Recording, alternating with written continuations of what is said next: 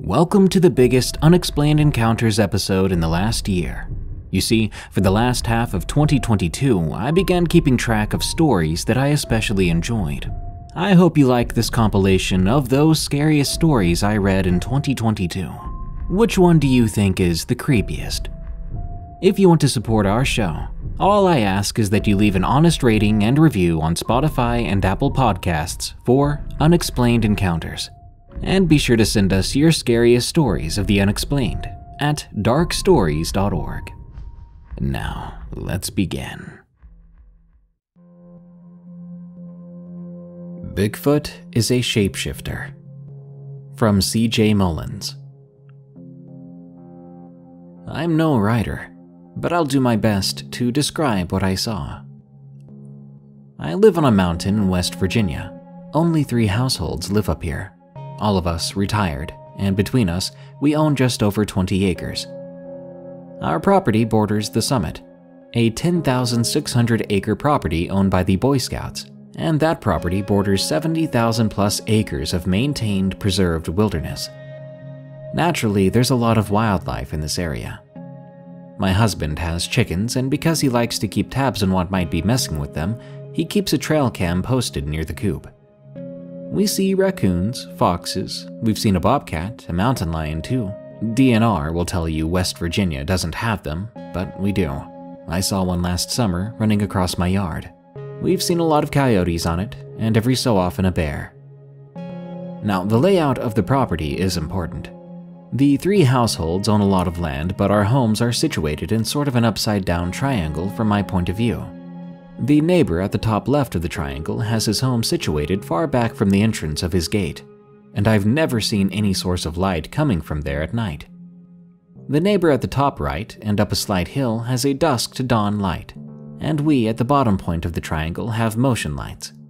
When we built our house, we had an attached garage, but later my husband decided we needed a three car garage behind the house. He's a retired carpenter and gets bored, so he invents things to build. I took full advantage of this and turned the attached garage into my craft room. Last Friday night, I was sitting in my craft room doing my thing. I like to listen to YouTube videos while I work, so I was picking out a playlist on my iPad. It was about 10:30 at night, very dark out, and I had the garage door up because it was warm. The only light was the light spilling out of my garage and a bit of my neighbor's dusk to dawn light which from my viewpoint only lightly illuminated part of the drive leading up the hill. My nine year old beagle was sleeping on the floor next to me when he began to growl. We've had him since he was six weeks old, so I've heard him growl before, but never like this. I looked down at him and then in the direction he was looking. It was standing in the middle of my neighbor's driveway, about halfway up the hill. I instantly knew that it wasn't a man. It was, I would guess, about seven and a half feet tall. I'm bad at that, but that's my best guess. The thing was standing on two legs, and due to the dim light, I couldn't tell if it was facing me or facing the other way. I know bears can stand up. I've never seen one do it in person, but I know they can do that.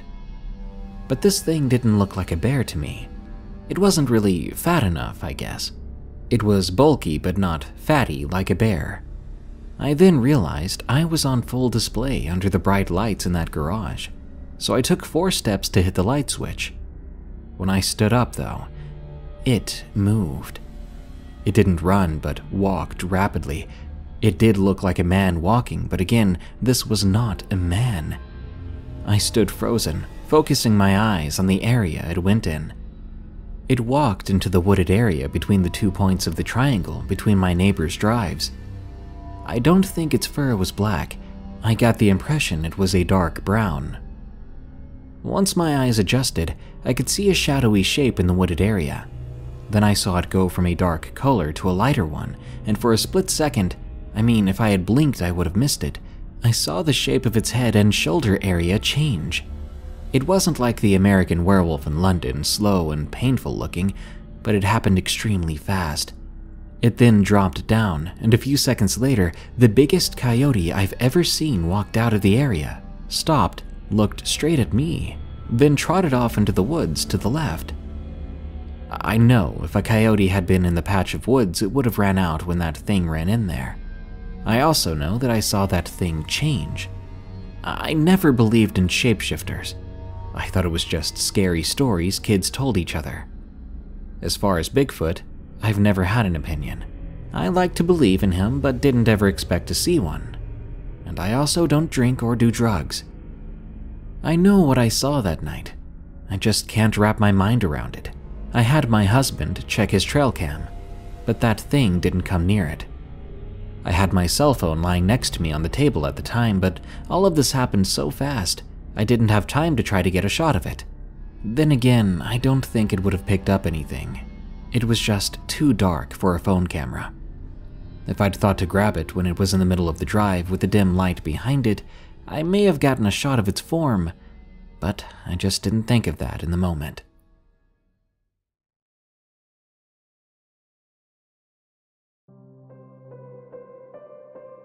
His Guardian Angel from Bubbleguppy. Ghosts aren't always malefic. Some are downright kind and gentle, just like the one from this experience. This was one of the last times I went camping. It was with my cousin, his girlfriend, and my boyfriend. My cousin is 39, but he was always my favorite, because he always went out of his way for me. For this to make sense, I need to tell you about my former roommate as well. Her name was Alice. She and my cousin were always so sweet together. He was 33 back then, and me and my roommate were both 22 then.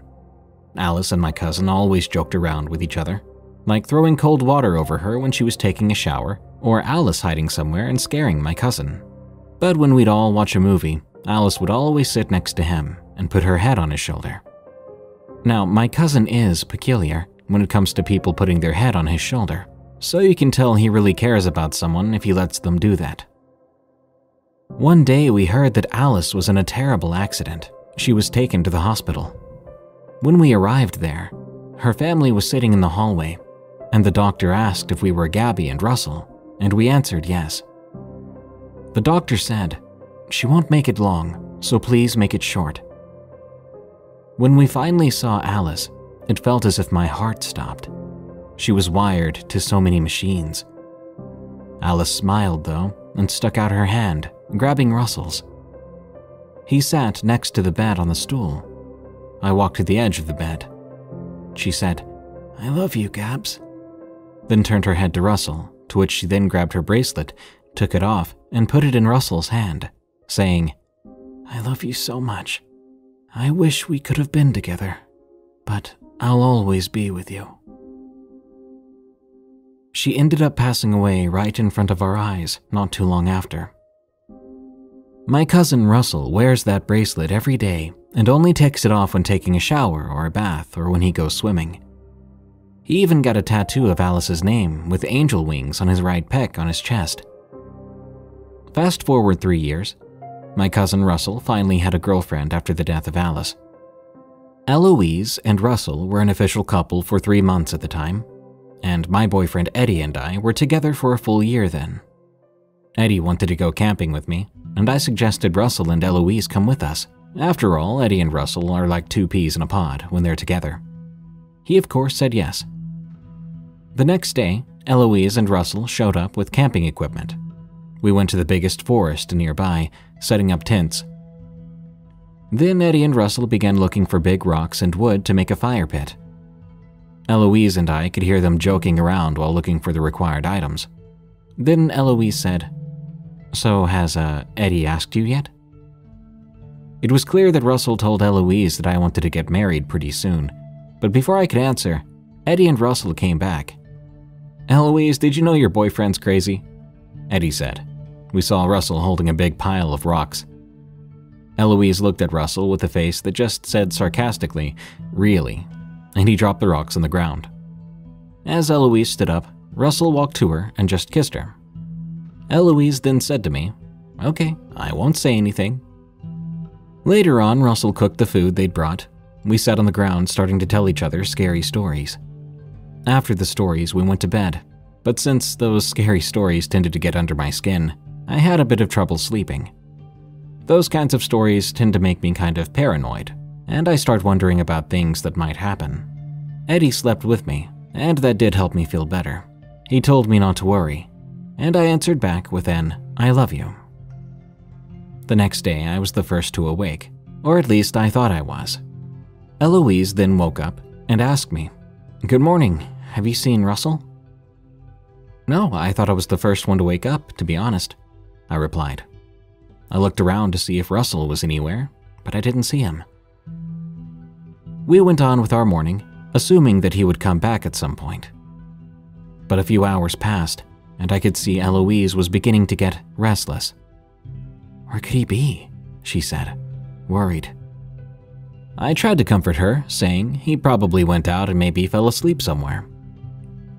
She managed to smile, but anyone could see that it was fake. More hours passed, and Eloise finally decided to call the cops. Eventually, a search party was formed. The cops allowed the three of us to join in. A few hours into the search, I saw something glinting in the little sunlight that still shined. I ran up to it and saw it was the bracelet that Alice had given Russell. My heart was pounding. I heard an officer then shout my name, and I put the bracelet into my pocket. Ma'am, we're gonna have to stop the search now. It's gonna be dark soon, and tomorrow we'll come with the dogs to find him. The officer explained. My heart sank. I was so scared of what could have happened to my cousin. When I arrived back at the campsite, I found Eddie trying to calm Eloise down.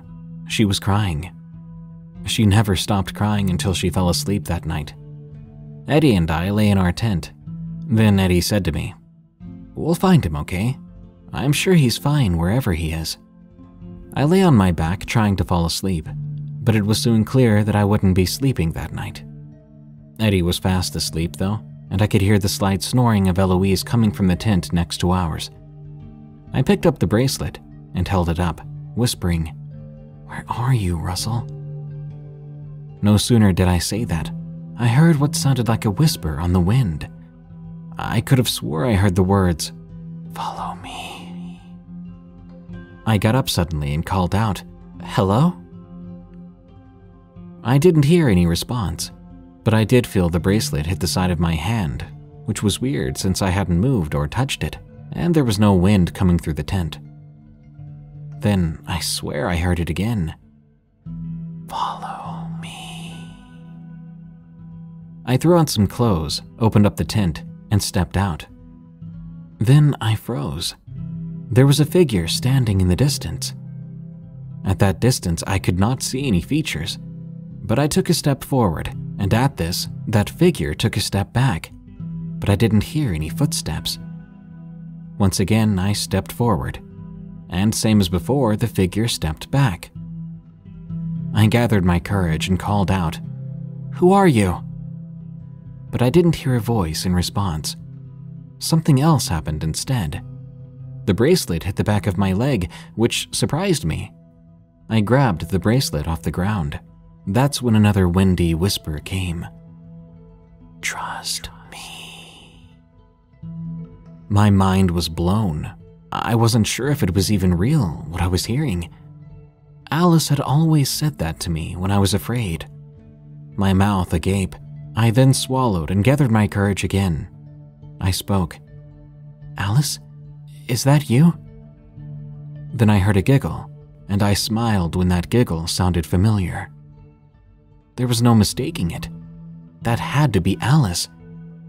Was she here to help? I began walking toward the figure, which I was now sure was my darling departed friend, Alice. I followed her, trying to ask her questions like, where are you taking me? But all I got was giggles until she stood still, and so did I. Come, I heard her voice say. Steadily, I walked up closer to the figure, and as I drew closer, it became clear to me this figure truly was Alice. I felt a tear roll down my cheek, seeing her standing in front of me after all this time. She then turned her face to the left There, she said. I walked over to where she was looking. After a few steps, I noticed a hole in the ground. I shouted, Hello, Hello. into the hole. Suddenly, I was greeted by another familiar voice. Gabs, is that you? I was both relieved and startled. I shouted back, My God, Russell, are you okay?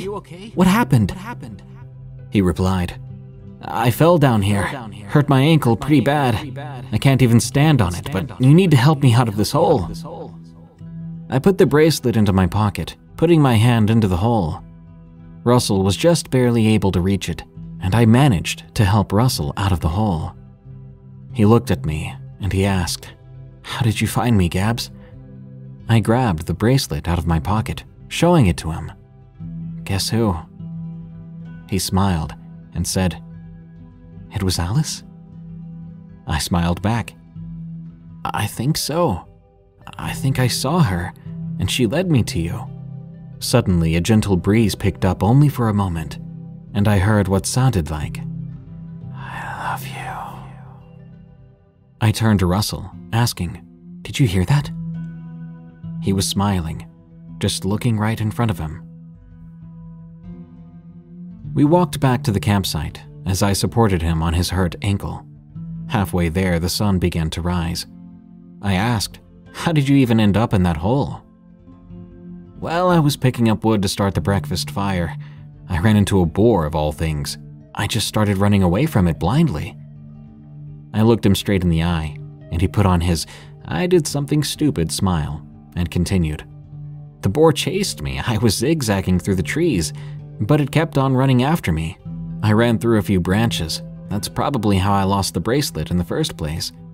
I just kept running. A big ray of early morning sunlight was now shining through the trees, creating a breathtaking scene in front of us. Russell and I just sighed, looking at each other. I smiled and hugged him. Then Russell said, Alice loved to see the sunlight through the trees like this so much. Then, one final time, the whisper on the wind came to us Thank you. The two of us quickly turned around, and we saw her standing there, looking back at us. Then, we heard Eloise shout behind us. We turned to her and saw her running at us. She threw her arms around Russell, crying her eyes out. Eddie hugged me, saying, My God, where were you? And where'd you find him? We told them how I found Russell, except for the parts where Alice helped. To this day, Russell still wears the bracelet and even calls his first daughter, who is now a year and seven months old, Alice. When she's old enough, Russell's going to have his daughter wear the bracelet and have Alice be her guardian angel. The Visit from Sam Me 5 I was born and raised in Chicago, as in the actual city, and not some suburb close by. I only say this because I feel as if most ghost stories happen in the middle of nowhere, or where the population is limited, never in the middle of busy city life. I live with my parents. They own a multi-family home, and we live on the top floor. My dad bought the house in the early 90s, and it's been in the family ever since. We've never lived anywhere else, and we certainly never plan on leaving. It's a great house in a good neighborhood. I love this house, and besides some minor details about it that make it old, I wouldn't change much. That being said, the house has always had a somewhat unsettling vibe. It's not all the time, but certain times of the year, you could feel it more than others, especially at night. Growing up, I remember experiencing creepy things in the house like seeing shadow figures make their way across the hall when I was playing, hearing footsteps walk from the kitchen to the dining room, hearing the shuffling of things being moved around. My parents were a bit skeptical if I ever brought it up. Even when things like this happened to them, they brushed it off with a shrug and said something along the lines of, It's an old house, it creaks. I never truly believed it was just that. I always had a rule for myself never stay in the living room past 1 a.m. And if I ever did because of homework, all the lights had to be on. Even then, out of all those times I was all alone studying in the living room or den area, I always felt something watching. I always knew I wasn't alone. The presence in the room was almost tangible, and it gave me shivers down my spine. The best thing I could do was play my music and try to ignore it. But I'd always practically run to my room once I was done. Some might think it was all in my head, that I was just afraid of the dark, but it wasn't that. When I left for college, that feeling of something watching me was never there in my dorm room or in my apartment when I eventually began to rent a place. It was only ever there when I was at home in my parents' house. What truly convinced my mom that there was truly something in that house was when I had just come home from college for Thanksgiving break. Everything was fine until the third night I was there. I had this habit of staying up late at night watching Netflix. That night was no different. Normally, I never closed or locked my door, I kept it slightly open to let the room breathe.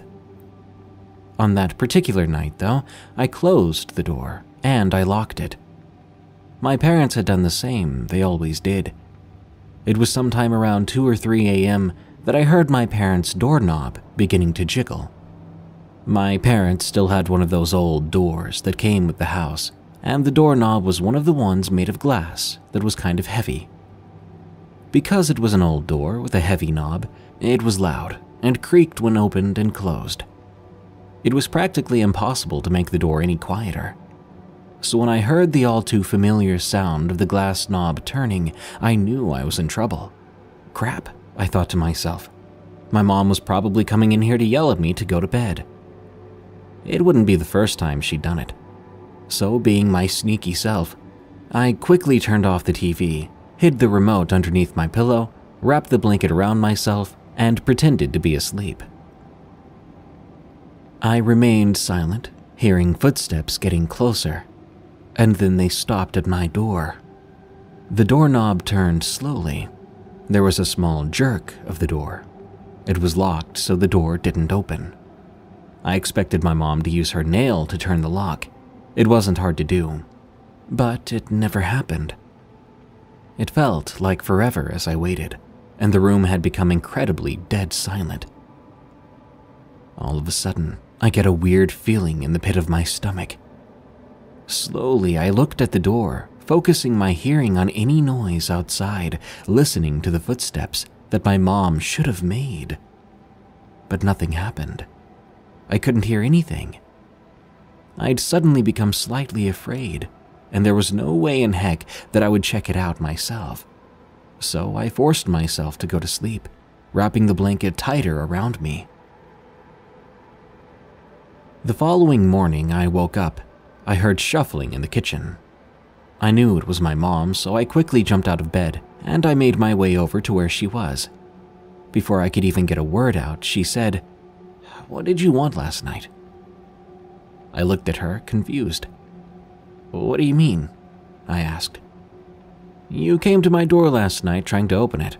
I kept calling out your name, asking what you wanted, but you never responded. Were you sick or something? This time I nervously smiled and chuckled. No, no, you came to my door last night. I didn't go to yours, I countered. Sam, stop messing with me. Mom, I'm not. I, I thought you were coming to yell at me to go to sleep for being up so late. You turned the knob too, but the door was locked, so you couldn't get in. I did no such thing, my mom said, and neither did I. We just stood there, looking at one another as if trying to see who would confess, but neither of us did, because I know for a fact I did not get up to go to their room, nor did my mother come to mine. So you're not lying to me, because you do like to scare me sometimes. My mom asked, looking a little more anxious. No, Mom, I'm not. If I ever scare you, it's certainly not at two in the morning. okay then, she said quietly. I could tell my mom was now confused and slightly concerned. Whatever came to visit last night failed, thank God, she added softly. I don't know what tried opening both our doors that night, but I was thankful it wasn't able to. I have no idea what I would have done if that door had actually opened. All I know is that whatever had been lurking around at the house all these years had finally mustered up the courage to do more than just walk around. But it had failed, and I rather keep it that way. Ever since that day, two new occurrences had begun to happen. One, there's always a subtle knock on the back kitchen door. It happens throughout the day, but when you look outside from the window or cameras, no one is there. We've made it a rule not to open the door under any circumstances unless we know someone is there. 2. The bathroom door randomly opens now. It's never done that before. We even had some of our family members who work in construction take a look at the door, and they always say the same thing there's nothing wrong with the door or the lock. Whenever it happens, it always freaks us out. The door opens with such softness that it's nerve wracking. The creepiest part is when you realize the lock is still in its locked position. I still love this house. It's a great house, but it can be a little creepy at times. We've thought about bringing a priest, but the strange activity has become so normal at this point that we don't see the point. We've learned to live with the creepiness.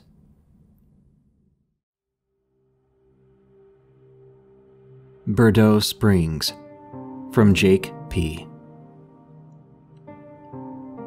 I worked for the National Park Service for almost 30 years in three different states. My final stop was at a national park in Louisiana. I don't want to say which one, but anyone familiar with the Park Service can probably figure it out. I was transferred there as deputy director, put over a sector of the park where we had a lot of campgrounds and hiking trails but not much else. It was basically dense thicket for miles and miles, as far as the eye could see, and always had been, at least in living memory. Some of the veterans who worked in and around my sector told me some interesting stories about things that had happened there over the years. Mostly pretty tame things. Stories about people who claimed to have spotted panthers or Bigfoot in the park. People who had uncovered substance fields or certain types of labs, if you catch my drift. Not that all that isn't interesting, it's just that you hear those kinds of stories a lot in my line of work. But one story that really stands out from my time there was the legend of Burdeaux Springs. As the story goes, when the first white settlers were coming into the area, they maintained relatively peaceful relations with the native Choctaw people. But the natives insisted that the whites had to stay away from one area a natural cold spring they called Nanushta, a hole in the ground that the natives claimed was bottomless and was home to bad spirits. But eventually, a wealthy plantation owner named Burdeaux was granted the deed to Nanushta and all the land around it for service to the French crown. He passed the land to his son, who eventually built up a large and prosperous sugarcane plantation he named Burdeaux Springs. But the enslaved men and women who worked the land told wild tales of the spring the Choctaw called Nanushta, and rumors spread that children had begun to disappear from the slave quarters in the night. The slaves, many of them practitioners of Haitian voodoo, held ceremonies imploring the evil spirit who lived in the spring to spare the lives of them and their children. Burdeaux himself, it was said, became increasingly cruel to his slaves punishing them for what he saw as satanic practices. The slaves, for their part, spread the rumor that he had become possessed by the spirit in the spring. Eventually, it all came to a head one night when Burdeaux's youngest daughter, Marion, staggered into a neighbor's home one night, covered in blood and ashes. She claimed the slaves had risen up against her family in the night, butchering her family before her eyes and shackling her to a tree. The neighbors sent for reinforcements from the nearby military outpost, and by noon the next day they were marching off to Burdeaux Springs to put down the insurrection. However, when they arrived, there was hardly a sign of life on the whole estate. The manor house had been torched. Nothing of it remained, save a smoldering blackened ruin. The slave quarters, too, had been razed to the ground, along with most of the crops in the field. Strangest of all, however, was that the slaves on the plantation before fleeing into the dense hardwood forest had taken a considerable amount of time and effort to stop up the spring, burying it under a massive amount of dirt and detritus. According to the legend, the bodies of the Burdeaux family were never found, with many supposing they'd been tossed into the spring before it was stopped up. Over 200 years later, by the 1980s, they said that nothing remained of the Burdeaux plantation or the springs except a grown over heap in the middle of the woods, somewhere in the depths of the park. Many have searched for it, and some even claim to have found it, though they could never do it a second time. But in the early 90s, a professor from a state university had contacted the park director, claiming he had finally pinpointed where Burdeaux Plantation had once stood using satellite mapping technology. He requested permission to conduct a rudimentary excavation at the site, which the park director granted. Time passed, and the director forgot about it until the professor and his wife were reported missing. During the investigation, the police noted that the last phone call he had placed from his home number was to the park director. A search was conducted using the coordinates the professor had given the park director, and nothing was ever found. No signs of an excavation or campsite. No sign of anything that might be the remains of Burdeaux Springs. After a week of canvassing the area, the search was abandoned as there was no proof the professor had ever been there to begin with. He and his wife had simply vanished without a trace. After a while, the incident passed out of memory until years later when a camera was found hanging from a branch on a trail deep in the park. The trail place where the camera was found was a long way out, but not a trail that was infrequently used. It was definitely a place that people passed every two or three days during peak camping season. The people who found it said it was hung there quite purposefully, like someone had placed it there and would be back for it shortly. They ignored it when they passed it on their way in, but when it was still there two days later on their way out, they decided to pick it up and turn it in to the ranger station. The camera was placed in the lost and found, forgotten about for a couple of years, until someone came across it while cleaning. They realized there was still film in the camera and decided to have it developed on a whim. When the photos came back, everyone was puzzled at what they saw. The photos seemed to show what appeared to be an older middle aged man digging in what looked to be a small mound or hillock, showing various bits of broken pottery or tools he had uncovered. As the pictures went on, there were also several images of him pointing at what looked to be some kind of spring, and even cupping his hands and drinking from it. Then things got really strange. The last several photos seemed to show that same man walking around the outside of an antebellum home, pointing out different design features. The pictures became more and more overexposed nearer the end, gradually fading to all white. Obviously, this was a little weird, but as you've probably guessed by now, this wasn't just any middle aged man. Some of the pictures were eventually posted to the park's website in an attempt to find the camera's owner. And you guessed it, the man in the pictures was later identified as the missing professor. The police were alerted, but of course they couldn't make heads or tails of it. No one could. There are no antebellum homes within a hundred miles of where the camera was found, and to this day, no accurate explanation has ever been offered for the strange photographs or what became of the professor and his wife. In all my years at the park, no sign of them has ever been found. I don't know what to think about it all. Honestly, I try not to. Not abandoned. From Seeing Things. Whatever term suits your fancy, I'm what you may call a wanderer or a drifter. I've been wandering the country since I graduated high school, jumping from place to place, finding work wherever I can get it. It's not what a person would call stable living, but I do what I can to get by. You can imagine having traveled so much that I have a lot of stories, right? Well, yeah, I do. I've seen and experienced so many things that no one can explain, Ghosts, ghouls, I have many stories of the unexplained. But for the sake of time, I will stick to telling this one for now. Living on the budget of a drifter isn't always comfortable, especially since hotels are so expensive these days, so most nights I have to find somewhere to camp. I enjoy the experience, especially on late spring nights when it's cool out and you can stare off into the stars as you fall asleep. It was on such a night that this series of occurrences happened. I was in a small town in Colorado. It was about 7 to 7:30 p.m. when I noticed the sun was going down. As per routine, I walked into the woods looking for a place to camp.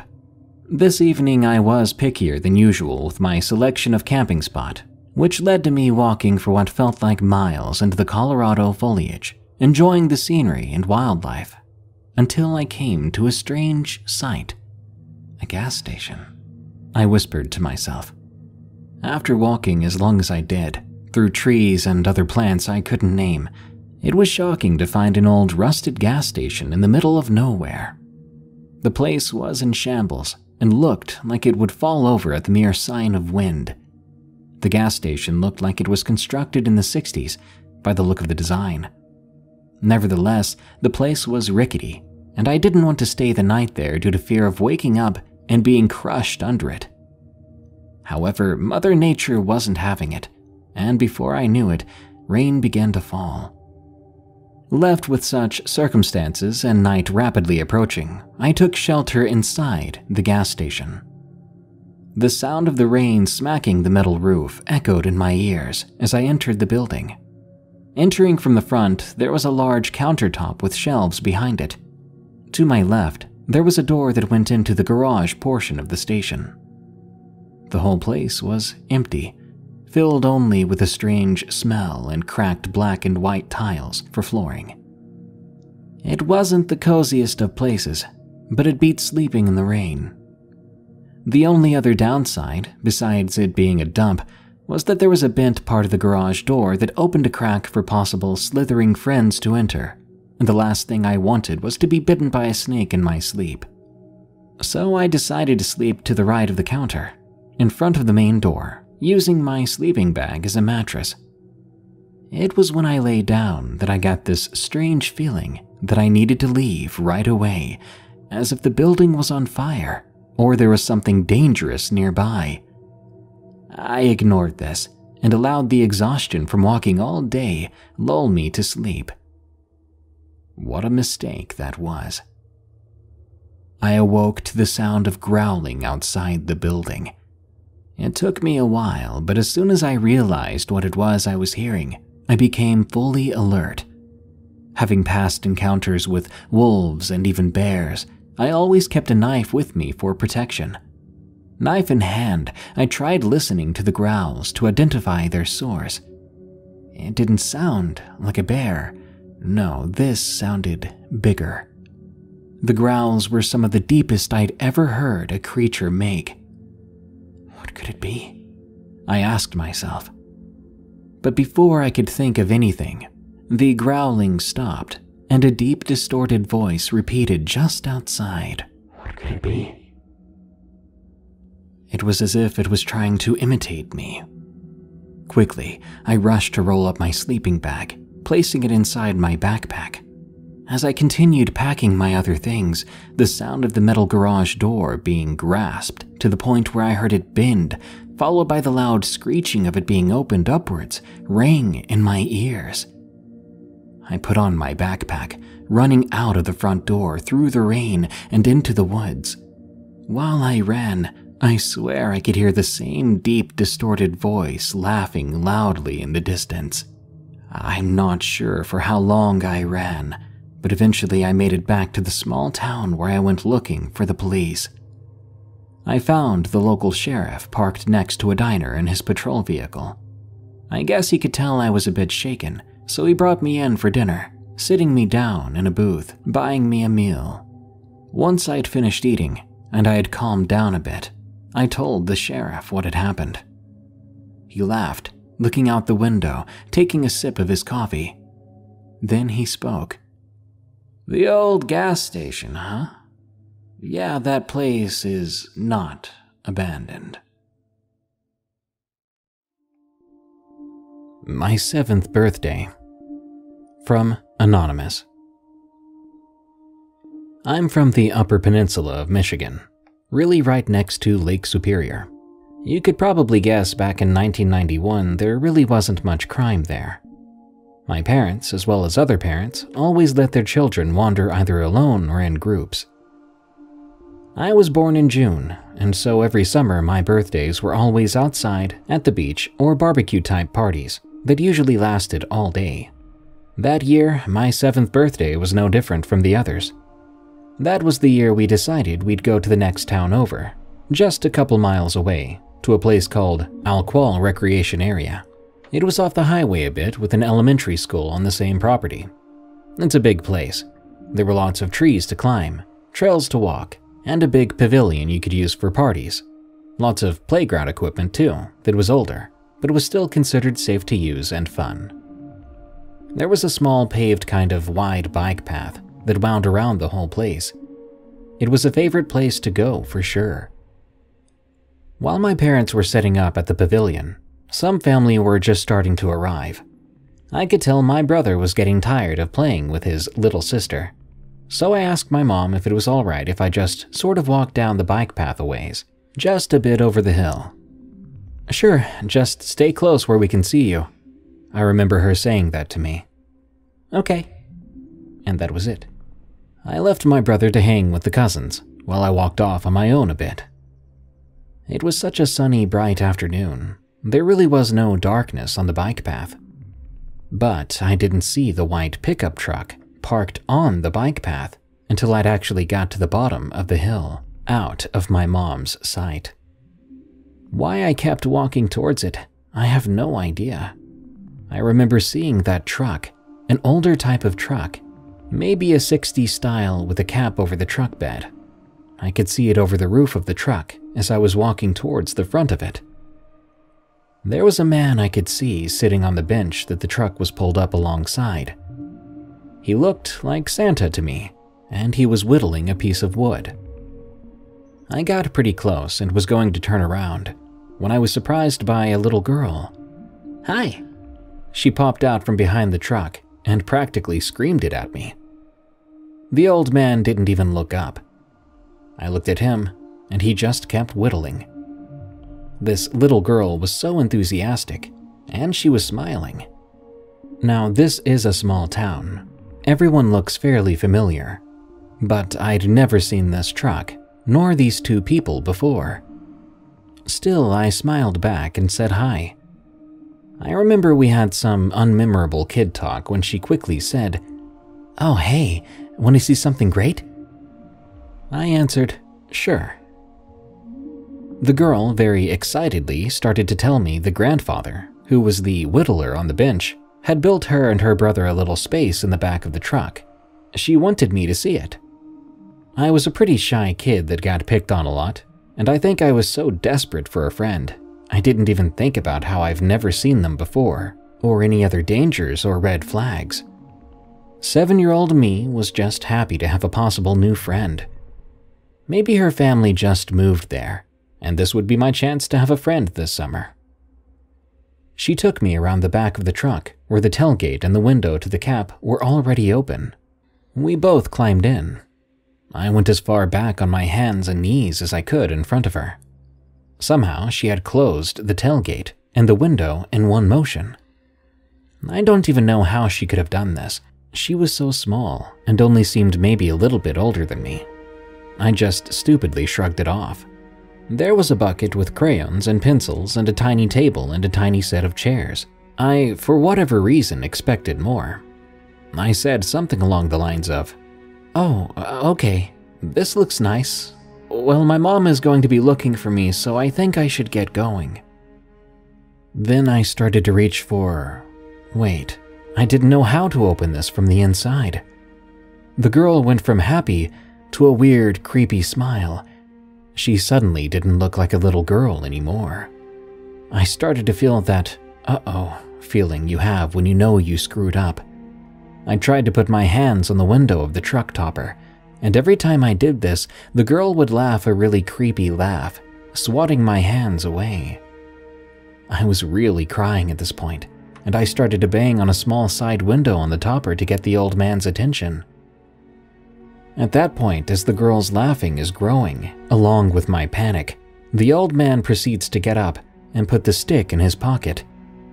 I thought, great, he's going to get me out.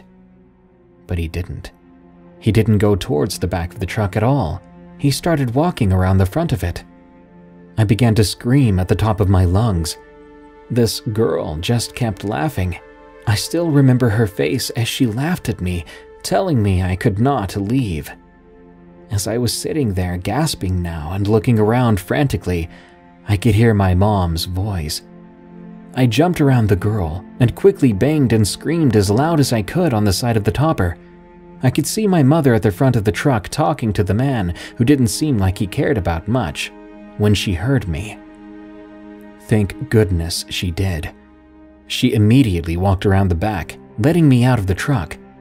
I jumped out and she grabbed me as the truck started, and this girl and old man drove away quickly. I really can't say what happened after that.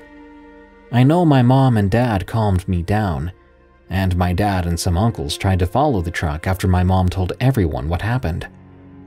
But nothing ever came of it. Nowadays, I'm always cautious of new places, and I'm always looking for an escape route just in case. I never get into cars with people I don't know. Looking back, maybe my seven year old brain just thought the girl looked like a little girl. Maybe she was just someone who aged really well, keeping her youth longer than others. Maybe she was just a young looking woman. She was a bit taller than me. Why did the man not say anything? How did this girl get the tailgate closed so quickly and easily? Who knows if they would have been working together to take children? But I know without a doubt if my mom had not come looking for me, I would have been gone. Switching Seats in the Dark from Christina. I'm not usually very good at telling about something that happened to me, but I'm gonna give it a try. There was an incident that happened about eight or nine years ago that still sends chills down my spine. I was a 23 or 24 year old girl at the time. We lived about an hour out of town back then, and cell phone reception was sketchy at best. Most of the time, you couldn't get reception at all. I am a bit of a nervous person, so not having cell phone reception already made me nervous. I always hated having to drive home in the dark in fear of breaking down in the middle of nowhere. Sadly, because we lived so far out of town, it was usually dark. My mom was the one that drove most of the time, because I only had a permit and only drove at night when I had to. That may seem weird for me to have had a permit at that age, but medical problems made it so I wasn't able to learn to drive before then. Before I could get my license, I got injured, and I still can't drive to this day. Anyway, on to the story. My mom and I were driving home late one night after a long day in town. We were about 30 minutes from home, so we'd already been out of reception for quite a while. My mom didn't get a lot of sleep the night before, but she was the one driving due to the fact that I only had a permit. She started to fall asleep in the driver's seat. Usually, I could just talk to her to keep her awake, when my mom was so tired that talking no longer worked to keep her awake, she began to swerve off into the wrong lane. I yelled and she woke up, but I was still having a lot of trouble keeping her awake. I suggested that I should drive the rest of the way, and she agreed. We were both a bit nervous, being out of reception in the middle of nowhere and having to switch seats because it meant we would have to get out of the car in the dark, and most of the area had thick trees. We knew we had no choice, and within a mile or two, I saw a big open area that was far away from any trees. So I felt confident that if someone or something were to come out of the trees, we would have plenty of time to get away. We stopped there and got out of the car. For some reason, I felt unusually comfortable, and I didn't hurry like I usually would have when it was dark. I got into the driver's side and shut the door. Now, in this car, all doors had to be all the way shut, or none of the doors would lock. My mom took a quick look around, then got in her side. But as she shut her door, something began to pull on the door from the outside.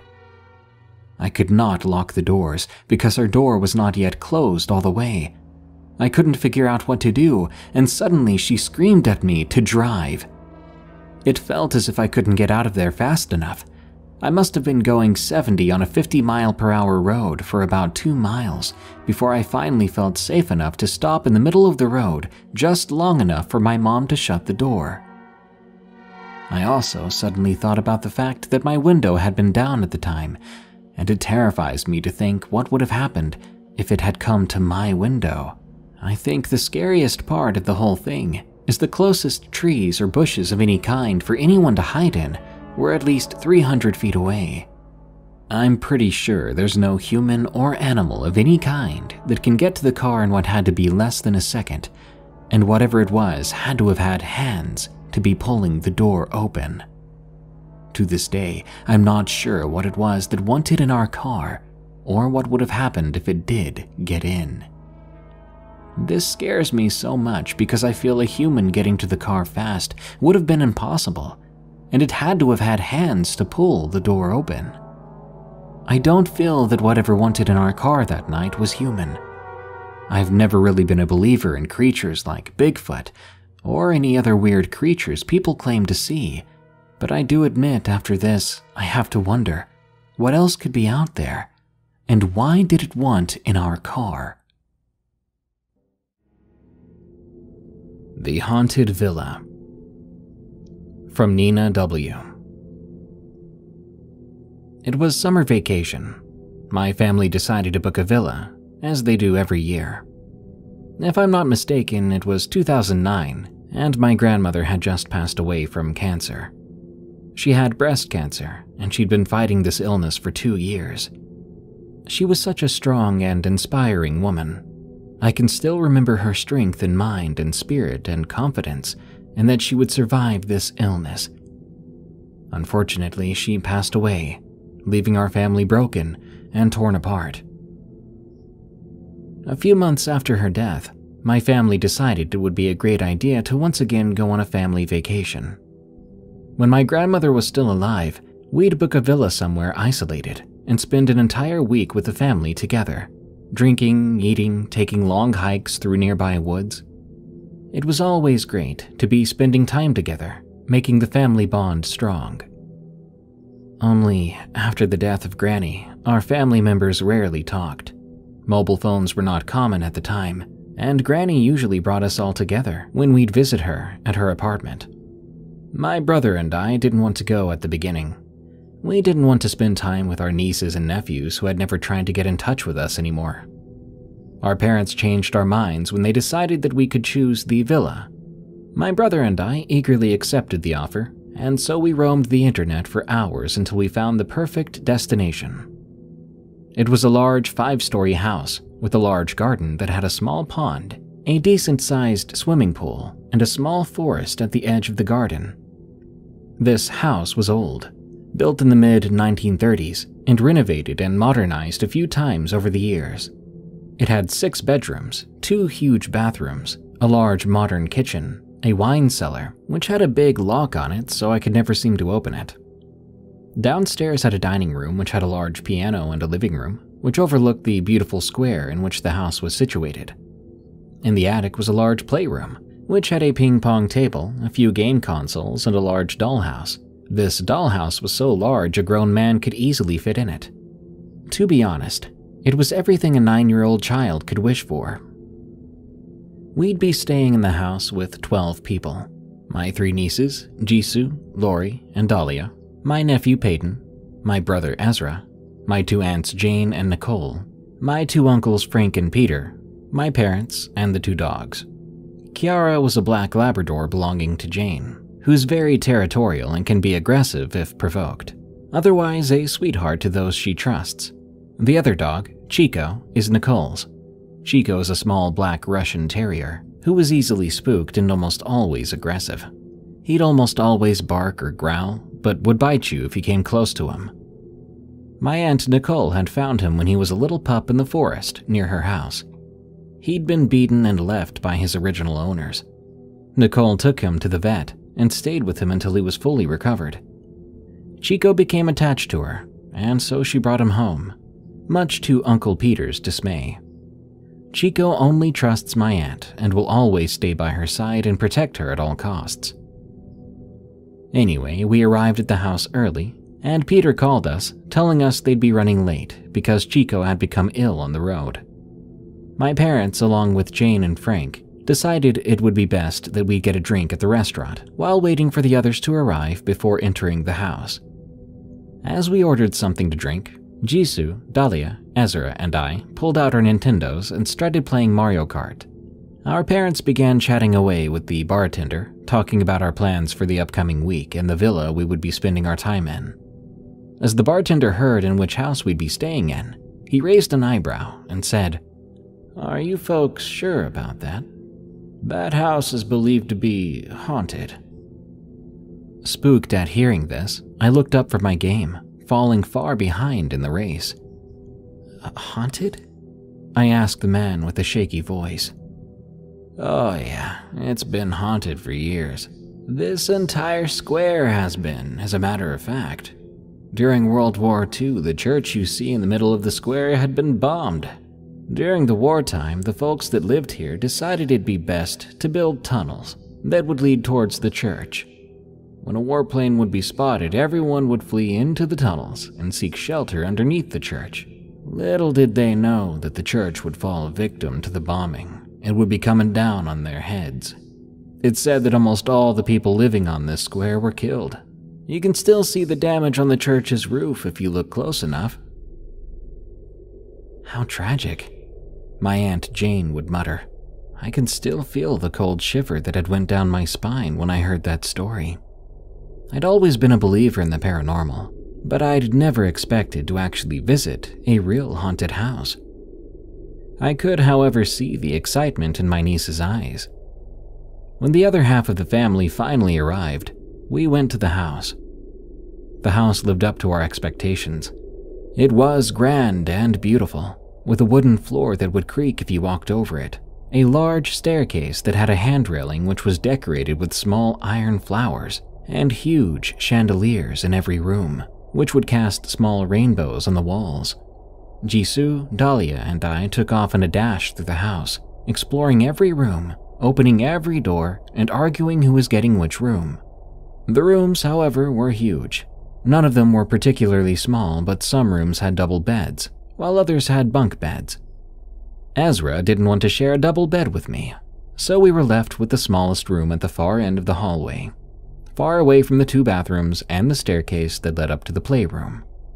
Our parents called us downstairs and told us they would be going to the store to buy some food for the coming week, and that Peyton would be in charge while we were gone. He was the eldest, after all. We agreed, and when our parents were gone, we took off in a mad dash up the stairs to the playroom in the attic. Ezra and Peyton started playing on the game consoles, while Jisoo, Dahlia, and Lori started playing ping pong. I went to play with the dollhouse. I was the youngest at the time, and a bit of a weirdo. I didn't always like playing with the others, as they would often ruin the stories I had in my head. So I climbed into the dollhouse and began playing with the dolls that were inside. I was so caught up in the story I was playing, I didn't even notice that the others had gone downstairs. I only really noticed when I heard Peyton and Lori's voices coming from underneath me. At that point, I crawled out of the dollhouse, searching for where the sound was coming from. There behind the dollhouse was a hole in the wood floor. The hole was big enough to fit my hands in, and it gave me a perfect visual of the room Peyton and Lori were in. They were unpacking their stuff. I wanted to shout at them and wave, but I chose not to. I didn't want to scare them. So instead, I went downstairs to unpack my own stuff. That evening, after we'd eaten dinner and watched a movie together, we all decided to go to bed early we were all exhausted from the three hour drive it took to get here. However, that night around 2 a.m., we were awakened by Lori screaming her lungs out. When we all ran to her and Peyton's room, we found Lori crying in Peyton's arms. When Nicole asked what happened, Peyton told their mother that Lori claimed to have seen someone staring at them from a hole in the attic, the hole that I'd found. Lori, trembling, shook her head. No, I didn't just see someone stare at us, I saw someone reach his or her hand through there. Lori then pointed at the hole in the ceiling with a shaky finger. I woke up because I heard whispering. When I looked up, I saw someone's hand reaching through the hole. Peter, Frank, please go look in the attic. Nicole asked politely of the men. My father and Jane went downstairs. That night, we searched the entire house and checked every door, but there was no one, and every door was locked up. It would have been impossible for anyone to get in. Lori and Peyton decided to sleep in the bedroom with their parents, and we all helped move their stuff. The next morning, I decided to go up to the attic to check if there truly was nothing up there. And there was nothing. No sign that someone else had been there. The dollhouse was even just as I'd left it the day before, and every doll still lay where I'd placed them. A little bit spooked, I went downstairs to eat breakfast with the other members of the family. Lori still seemed on edge, her skin as pale as a ghost, and her lips trembling as she ate her breakfast. That morning, we went to the beach, and as we were walking on the sandy beach, Jisoo, Lori, Peyton, Ezra, Dahlia, and I started talking about the thing that happened last night. We decided that it would be a smart idea to stay up the coming night to catch the ghost in its act and Scooby Doo style revealed that it was just some simple person playing a prank on us. Naive, I know, but we were children back then, and this seemed like the best thing to do. That night, we gathered all our snacks and drinks and snuck in the room of Jisoo and Dahlia. Our parents had told us not to stay up too late before heading to bed. We were left in alone in the still, dark house while we made ourselves comfortable on the huge bed. The hours crept by while we started to talk about things that happened in our lives, such as the passing of our grandmother and the rift that had grown in our family. I remember feeling happy in that moment. Finally, we were all talking again as we'd done all those years before. We felt like a family once more, happy and close like it always been when Granny was here. Dahlia even started crying, and we hugged her tightly. After this heartwarming conversation, we all grew silent. We were tired. Three hours had passed and nothing had happened yet. Ezra was growing impatient and eventually grew tired of waiting. He got out of bed and returned to his own room, telling us we could contact him through the Nintendo chat if something was happening, but that he was not going to waste any more time waiting for nothing. We agreed and started the chat up, making sure our chat function was working. Another half hour passed, and Peyton and Lori decided to go to bed too. Only they didn't offer to stay in touch through the Nintendo. So it was only Jisoo, Dahlia, and I. We crawled underneath the blankets and began to draw things in the Nintendo chat box. We were having a great time. While we were drawing and whispering to each other, we heard the church bell ring 1 a.m. The loud sound of the single bell rang over the square, and a sudden silence fell over the buildings. I even noticed I'd laid my Nintendo down and I was just holding my breath, listening. Suddenly, we heard the wooden floor above us squeak, as if someone was walking around in the attic. These footsteps sounded slow at first, which made me think it was just the house settling. But as we waited, the footsteps sounded quicker. Do you guys hear that? Jisoo asked softly, her voice startling me in the silence. Dahlia and I nodded, our faces only visible through the faint light the Nintendos were giving off. The footsteps continued, and suddenly we heard someone walking around down the stairs of the attic. The stairs were positioned on the other side of the door to the bedroom we were staying in. We held our breath as we listened. Then we could hear someone breathing. It sounded like they were panting, as if in a panic. One of you send Ezra a message, Jisoo said, and I started typing as fast as I could, but my hands were trembling, and I had trouble holding the pen in my hands. The footsteps and the breathing continued in the hallway, right in front of the door of the bedroom. Dahlia grasped for air when she heard the thing outside the door brush against the door, and Jisoo and I hurriedly covered her mouth. We need to hide, came the soft, melodic voice from right outside the door, the voice of a young woman. She sounded panicked, but there was a sweetness to her voice that made me forget my fear for a few seconds. But when the unseen person took another step, the fear and adrenaline came back. We should hide. The voice spoke louder this time. We heard a soft bump against the door as if someone placed their hand on it. I felt a cold wave of fear run down my spine. I waited to hear the door finally open, but the sound never came. The footsteps became more distant, and we could hear someone walking towards the stairs that led to the hallway. Come on. Jisoo threw the blankets off and jumped out of the bed and towards the door of the bedroom. We should follow it. No. Dahlia exclaimed, her voice muted. She sounded like she was about to cry. We should stay here or wake our parents. It could be dangerous. Oh, come on, Dahlia. You always wanted to be a hero like Totally Spies, didn't you? This is your moment, said Jisoo. And those words did seem to encourage Dahlia. She stepped out of bed, hand in hand with me. Jisoo slowly opened the door, and we walked out of the room into the cold, empty hall. The only sources of light we had were the Nintendos in our hands. We could hear the footsteps downstairs and a soft sound that was like someone crying. This made the hairs on my arms rise. We snuck down the stairs, then came into another cold hallway. Hello? Jisoo asked out loud. The crying then stopped, but we could still hear that breathing. It was coming from the dining room. We held each other tightly as we walked towards the door of the dining room, which we had left open. Suddenly, a dark figure ran past us, out of the dining room and into the kitchen. The sudden movement made us all jump, and Dahlia screamed loudly. We could hear a door being opened, and the footsteps continued into what surely must have been the wine cellar. Guys, I want to go back, Dahlia said, crying. But Jisoo and I continued walking, too intrigued to stop now.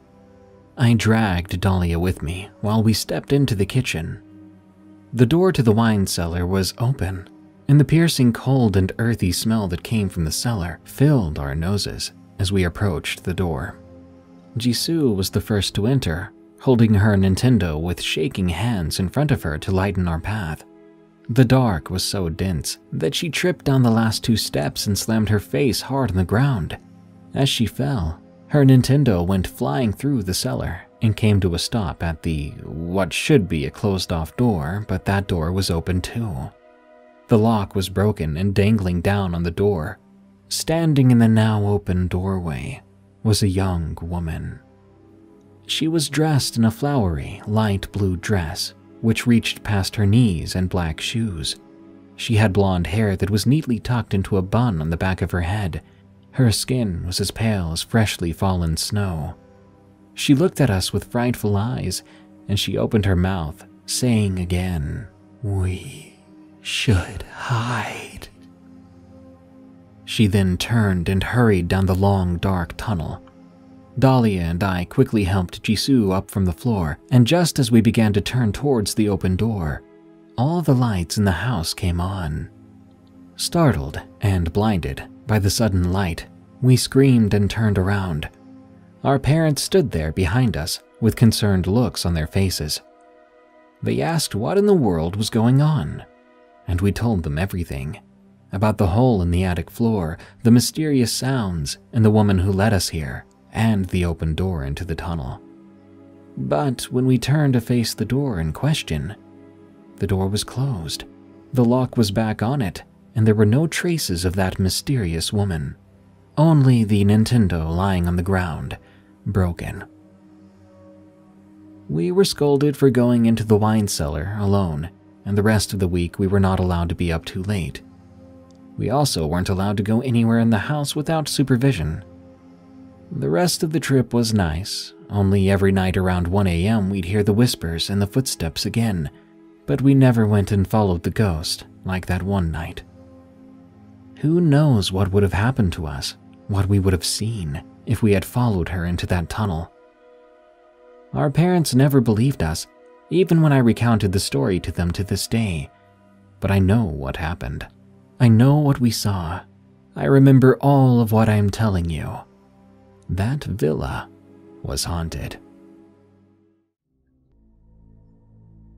The Beast at the Window From Bill 6928 This happened a very long time ago. I'm 54 years old right now. I was 28 when this happened. It began when I was driving home from the north part of my state, trying to get down south back to my family. A four to five hour drive really was taking it out of me, and I needed to catch up on some sleep. I pulled over onto the side of the road. I'd barely seen any cars and figured a few hours of sleep wouldn't do any harm.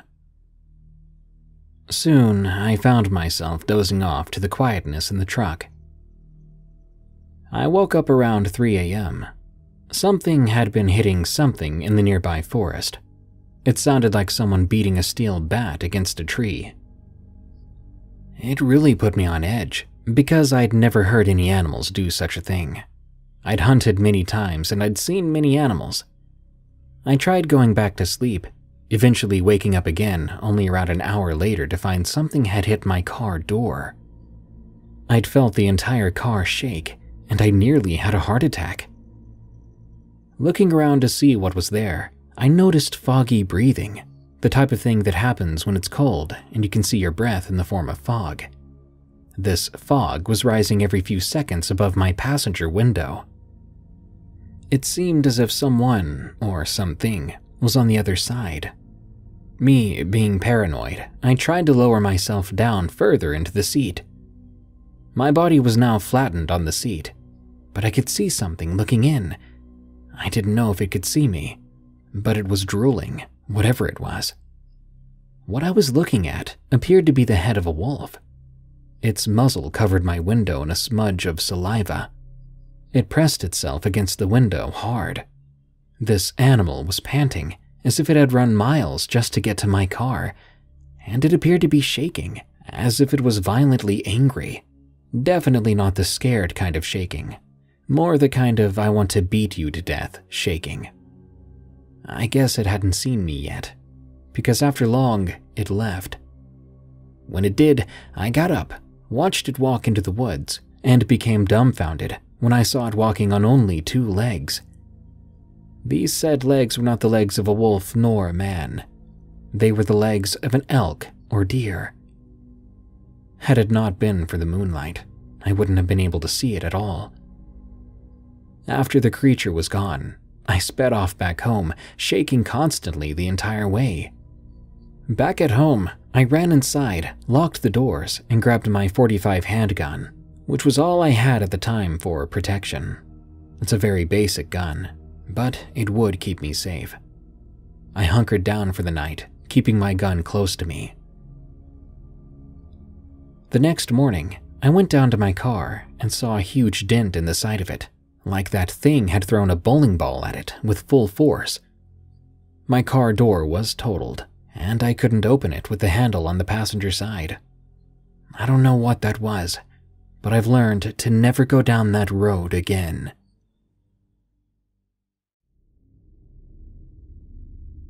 Why the House is Empty from Silver Bullet 54. There's an A frame house that one of my mentors from college, named Bianca, used to live in. It was in a small community I'd lived in once. She lived there for about four years until she was scared out of the house one night in 2014, refusing to go back in.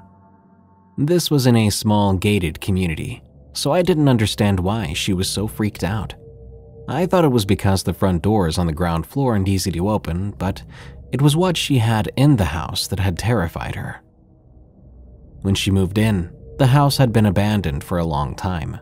Littered with bat guano, mouse droppings, dead roaches, and extremely old newspapers.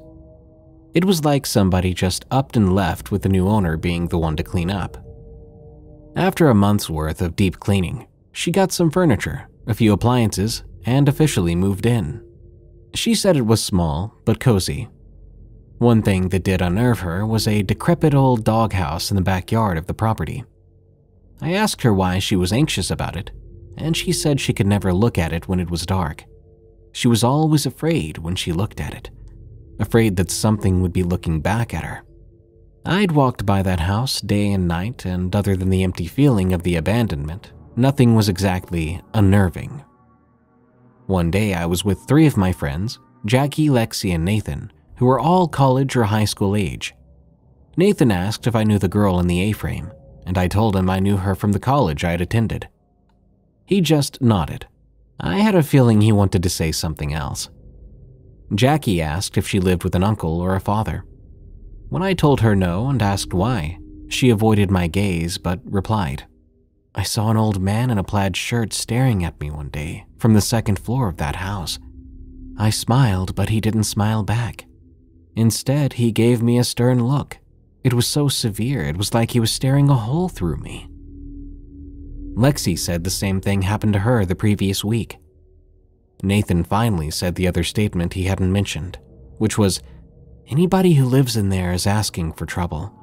Sometimes I've heard growls emanating from that old doghouse. I thought the three of them were just being paranoid. On a cold October night in 2014, I was showing off my Halloween costume to the same three friends when we heard a hair raising shriek. The next thing we knew, a Chevy roared down the road, probably doing at least 80. I recognized that Chevy as Bianca's. We all sprinted to the A frame, but saw nothing out of the ordinary. Nathan shivered, then sprinted back to Jackie and Lexi's house. We caught up and asked him why he decided to cut and run like that. He said, Hellhound, and left it at that. Bianca forced a few friends to go back to her house to pack things up. Nobody has lived there since then. I keep thinking about the place. I asked my dad, and he said it's still empty, and that was eight years ago. What I want to know is what's keeping people away from it. Maybe it's the cost, Maybe it's the lack of cleanliness, maybe the size, or maybe it's a man in a plaid shirt and a terrifying mutt. I know I don't want to find out, as all answers would be scary on some level. Unknown Cryptid From Born to Be Wild This incident happened back around 2015 or 2016 I just got out of a four and a half year long relationship with a girl I met online. During that relationship, I lived with her down in Connecticut, bordering Webster, Massachusetts. We were both very into the supernatural. After the breakup, I returned back to Seabrook, New Hampshire, where I grew up. I had no money and not much to save for belongings, but I knew lots of contractors and friends of the family that also owned paving companies, so there was no shortage of work when I came back, I had no place to stay. So a friend of mine let me stay in his 30 foot luxury boat on his property. It had been tucked back into the surrounding woods, probably 20 feet or so from the grassy yard where it was propped up on stilts. So I had to use a 12 foot extension ladder to climb up onto the stern of the boat to get inside. I would do this every night and pull the ladder up behind me so nothing else could climb up in the middle of the night, which I often envisioned because on many nights I would fall asleep listening to scary stories. One night, I'm returning home to the boat on a Saturday night. I just left one of my friend's parties. I'd had a little bit to drink, so I had a nice buzz going. I'm not into any kind of substances, and I don't smoke up. Even just one hit gives me bad anxiety. So, like I said, all I'd had was some drinks. I was approaching the boat when I suddenly began to get that eerie feeling the one we all try to brush off as nonsense. But nonetheless, I quickened my pace and got up the ladder as quickly as I could. As I climbed over the top of the ladder into the back of the boat, I began to hear footsteps racing towards the boat very quickly. So, in response, I rapidly grabbed the ladder. I began to haul it up. When I got the ladder halfway, I began to push down on my end to teeter the other end up in the air to get it as high as possible. As I did this, something grabbed the lower end of the ladder and began to jerk it down, flinging my end of the ladder upwards, smashing my funny bone. I roared out in pain. In the same instant, I smashed all my weight down on my end of the ladder as fast and hard as I could. Thankfully, maybe I just weighed more than whatever that thing was, because the ladder began to teeter in my favor. I peered at the other end of the ladder, and in the dim moonlight, I could see these long, skinny wrists and two little hands gripping the last rung on the ladder. The fingers were not long and pointy, rather, they were short and stubby. The skin seemed to be a gray color, and its fingernails looked dirty. To be honest, they looked like they belonged to Gollum from Lord of the Rings. When the ladder was level with the boat, the creature let go, making me and the ladder smash down in the back of the boat. Immediately, I scrambled to my feet and ripped that ladder further up onto the boat so nothing could jump up and grab it. I didn't have a flashlight handy, but I could see the figure peering up at me with milky gray eyes. I stumbled backwards away from the edge so I couldn't see it any longer. Then it began to run back and forth to and from the boat, it would get maybe 30 or 40 feet away, turn around, and run straight back at me. It began making a loud gurgling scream noise, mixed with a turkey, it sounded like. That's the best way I can describe it. I didn't watch it run back and forth making the noise. I was too freaked out, so I stood watch and listened from the doorway entering the lower inside of the boat, getting ready to slam and lock the door at a moment's notice. This went on for about 15 minutes until it finally ran off further into the woods, and I never saw or heard it again. In my mind's eye, as it was running back and forth making that noise, I pictured it whipping its head back and forth while it did, which to me would have been a ridiculous sight, so it made me laugh. I've been waiting to tell that story for a while. I'm glad I'm finally doing this. I'm not the kind of person that is afraid to tell their stories. I literally tell anyone that will listen, especially when the subject of the supernatural comes up. I hope you enjoyed. And remember, no noise happens for no reason. Superstition or Reality from Returner 0173. I'd recently turned 28 years old and felt a sudden urge to look back on my life there are people, friends, and teachers I wanted to see again. At least, it felt like that. But oddly enough, I don't remember their full names or their faces. Instead, I decided to look up family I hadn't seen in a long time, since immigrating to the United States. That's when I started to feel unease, as certain memories flooded back. My dad's family immigrated to the US a long time ago, which leaves my mother's side back in the Philippines. When I was younger, I would visit them during times when school was out of session. They live on the northern part of the archipelago, in a very rural area called Agoo La Union. The area is surrounded by rice paddies and tree lines that housed fish ponds that also transitioned to more rice paddies, and the home itself is two hours away by foot from the beach if you cut through the rice paddies. The exact memories causing me unease occurred during the only and last full year I'd spent there. It was right before our family immigrated to the US. Due to how the school system worked, despite having completed more advanced subjects, the K 12 system in the US would force me a year back. So the family decided I would go ahead and spend a full year with my mother's family in La Union while they finalized the paperwork and while my mother settled things with her company. All my other visits prior to this had been great. The Spanish colonial style of home was made almost entirely out of some red colored hardwood, and the furniture looked as though it had been made specifically to match the house. It felt scenic and more relaxing than the modern city life I'd been accustomed to. That made me curious. However, my grandparents and the family that lived there had one rule do not try to open a specific room on the second floor, and if you somehow find it open, do not remove the cover of the mirror inside. I never questioned this rule before, but this time around I had a full year, and I was 10 years old. I spent about six months, curious but no unusual goings on. When I would pass that room, I would end up staring at the door. I'd ask my grandparents about it, but they'd just smile at me and tell me to ignore it. My grandparents are a mix of Spanish, Japanese, and Filipino. I shrugged the rules off as just superstition. The rest of the family told me to ignore it as well, but emphasized to avoid the room. Three months before our flight to the United States, things would begin to change. One July afternoon, I had spent the day with the local kids climbing trees and getting bit by large red ants while trying to get at the sweet fruits called duhat, or java plums, since everyone else was away doing errands and business. I believe it was around 4 p.m., or maybe 5 p.m., that I went back to the house as my grandparents and cousins were coming home.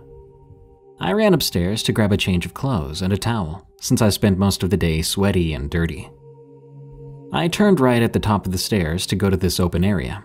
It's kinda like another living room. There are sofas lining the three walls, and the windows right by them were open. I don't remember opening them myself before I left the house to play. There were two doors in there, too. If you continue straight from the doorway after turning right from the top of the stairs, those doors would be to your left. The farthest door from the stairs is a room where I kept my clothes. The closer door to the stairs is the one we're supposed to keep locked. Well, when I went through the doorway, that door was wide open. It was the smallest room I've ever seen.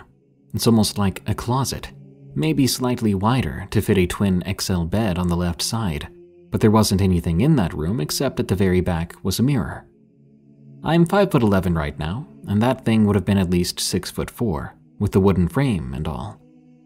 The mirror itself was shaped like an oval, but at this moment I didn't know that because there was a thick white cloth covering the whole thing. I felt drawn to it, but I remembered that I was not supposed to go in there. The longer I stared, the more unease I felt.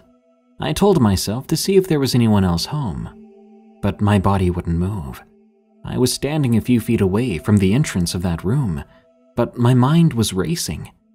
I knew I hadn't seen anyone on my way to the house and on my way up. I had to be alone. The more I realized this, the more the hair on the back of my neck stood up. Suddenly, I felt something grab onto my arm. I yelled, freaking out. But it was my grandmother, looking at me scared and worried. I think I may have seen some anger in her expression too. She moved her body so that the view of the mirror was obscured, and she asked me in a very stern voice, Did you look into the mirror? I looked around a bit confused. It was already dark out, but I had only come up here a few minutes ago, when there was still light out. I told her I, I don't know, that I had just got back in from playing outside. As she escorted me downstairs, she apologized that they came home a bit late because the place that hulls the rice we harvest had a problem. When I looked at the clock downstairs, it was nearly 8 p.m. Where had the time gone? I think she may have told my grandfather and my cousins, because they all went up together while I was eating dinner. I didn't do anything after that as I was still confused. By the time I went to bed, it was around 12 p.m. When I went back upstairs, that door was closed again. They'd attached something by the doorknob, and a chain was looped through it. This was to prevent the door from swinging inward and opening. That confused me even more, since that still meant someone from the outside could just undo the chains if they wanted to. But I guess they didn't think I was the one who opened the door in the first place.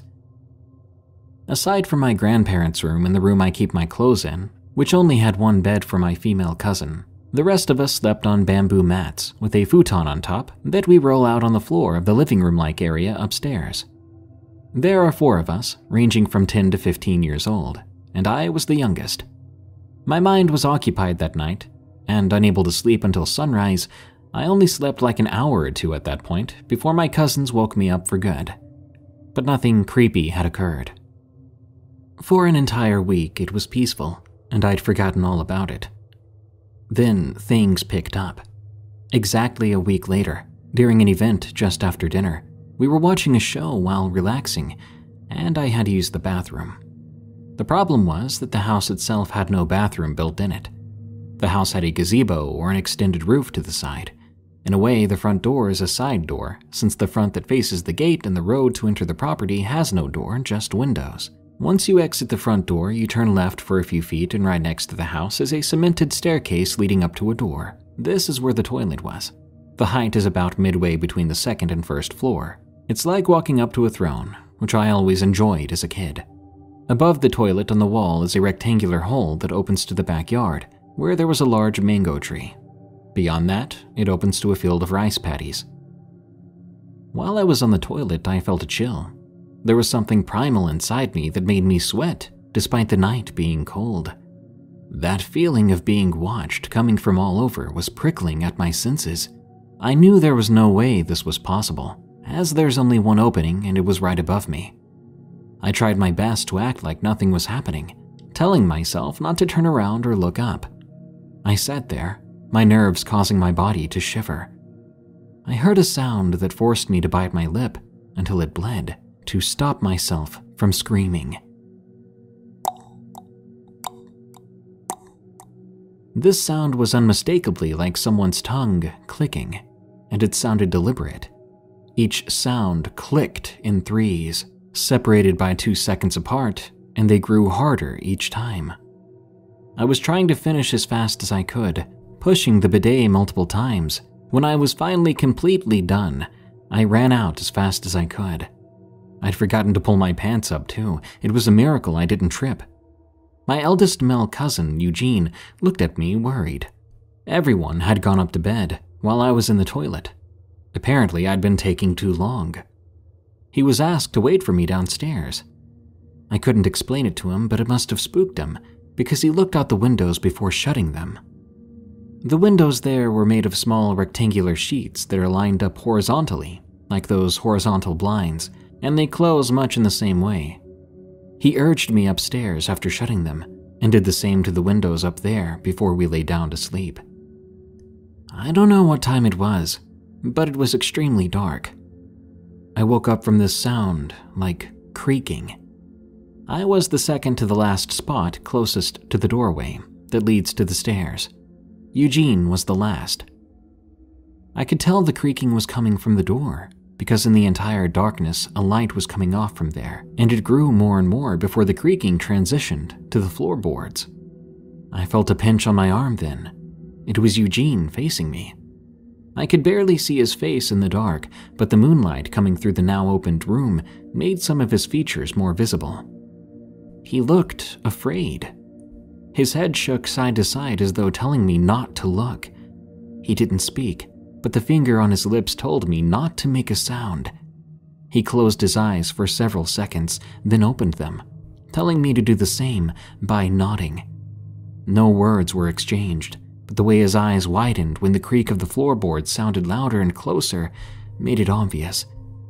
I began to sweat, my chest heaving, but I forced myself not to make a sound, and I closed my eyes tightly. The creak continued moving around the room, Eugene held my arm tightly to make sure I was still there, since he had closed his eyes as well. I kept mine closed, but the anxiety of hearing the creaking sounds moving closer made me tense up. My eyelids were beginning to hurt. I do not know how long it took, it felt eternal. There were no footsteps on the floors each time it creaked, but sometime later, clear taps, almost like a footstep but distorted, came from the ceiling replacing the creaking on the floorboard. A loud metallic creak filled the room coming from the farthest wall.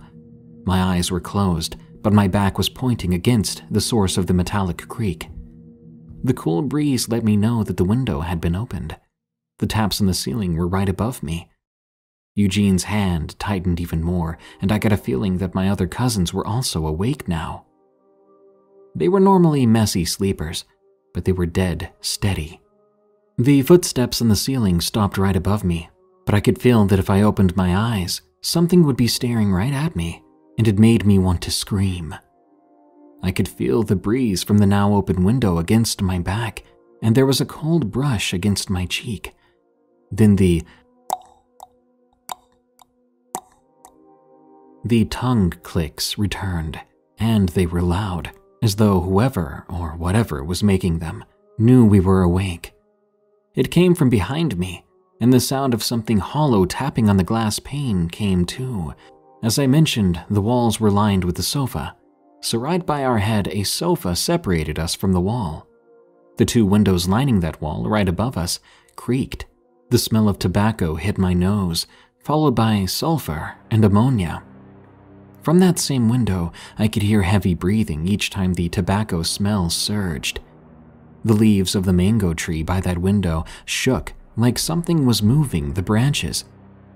The tongue clicks behind me, the tobacco, ammonia, sulfur smells, and heavy breathing right by my head seemed to go on forever. I was not in the right mind to keep track of time, but I know for sure that it would be a while before the floorboard creaked again. I heard cackling from both directions out the window, then felt an unmistakable cold hand grasping my right ankle. Eugene squeezed my arm then. I guess he could feel me become more tense, and I tried to remain calm, but I soiled myself then. After that, I'm not sure what happened. I know that I spent the entire night awake. When the neighbor's chickens crowed, Eugene sat up, followed by the rest of my cousins. They were all drenched in sweat, and so was I. Being boys, they would have surely made fun of me for soiling myself, but they didn't. It was still just before sunrise, but there was enough light for us to move around now. We turned on the lights and ran downstairs as a group, all scared but relieved. The locked room was wide open, and the mirror had no covers on it. When I came around to look sometime later that day, the window panes had scratch marks that weren't there before. The ceiling had scratch marks on it too. My uncle and Eugene were trying to fix the door. Apparently, the knob had been completely wrecked, so I was able to see inside while they were trying to fix it. The floor by the mirror, when I first looked in the room, there weren't any scratch marks, but now that floor was covered in them. This experience would continue on, deferring intensity for the rest of the time I was there, especially the feeling of being watched. It stopped feeling like that for a long while since moving to the US, until I remembered it all recently. Since then, I feel creeped out at night, especially when there's a large mirror and an opened window. But it's summer here now, and it feels extremely hot. Now and again, dreams that feel too real about something coming out of a mirror when I'm alone plagues me. I don't know anymore.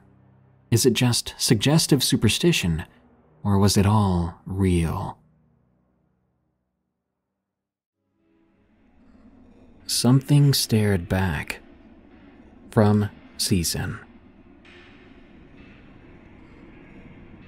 This isn't a particularly eventful story, but it is true and still gives me the creeps to this day. I've always loved the water, the ocean in particular. Even after some of the strange and creepy things I've encountered, it still holds a special place in my heart. When I was around 15, my mom and I took a cruise down through the Caribbean, stopping at all the well known destinations along the coast of Mexico and some of the smaller Central American countries. Our last stop before heading back to port was a tiny island off the coast of Honduras. We had decided to book what was supposed to be a relaxing snorkeling excursion. Sure, it wasn't the most famous for underwater activities, but there are some absolutely gorgeous reefs in the area, and I wanted to be a marine biologist at the time, so it was like heaven for me. We took a small ferry out from the main port to the island we would be spending the day on, and after lunch I was straight off to the water. I remember it was strange that day. It was beautiful out, sure, but there was almost no one else in that water. I think there was only one other person when I first got in, and I seem to remember noticing they'd left at some point while I was out, leaving the reef all to myself. Nonetheless, the water was like a dream. Not too hot, not too cold, tall shelves of reddish coral swarming with tropical fish. I don't know how long I spent just floating around, but it must have been hours. I at least know I came out looking like a freshly cooked lobster by the end. Anyway, I was floating on my stomach, facing directly below me, trying to identify any of the fish I could see, meaning I wasn't paying attention to where I was going. Suddenly, like someone had flipped a switch, the water got cold, and in the same instant, I found I had kicked my way over the drop off point. The reef ended, and I could see the rocky outcrop sliding down, down into the nothingness below me. This may not seem scary to those who have not experienced it, or anything like it, but suddenly finding yourself suspended above a seemingly bottomless void, it causes a kind of primal terror in you. I froze up, suddenly feeling incredibly small, out of place. The silence of the water in my ears was deafening. As I stared down into the abyss, I felt a strong sense of vertigo and just as I was regaining my senses and the ability to move, I saw it.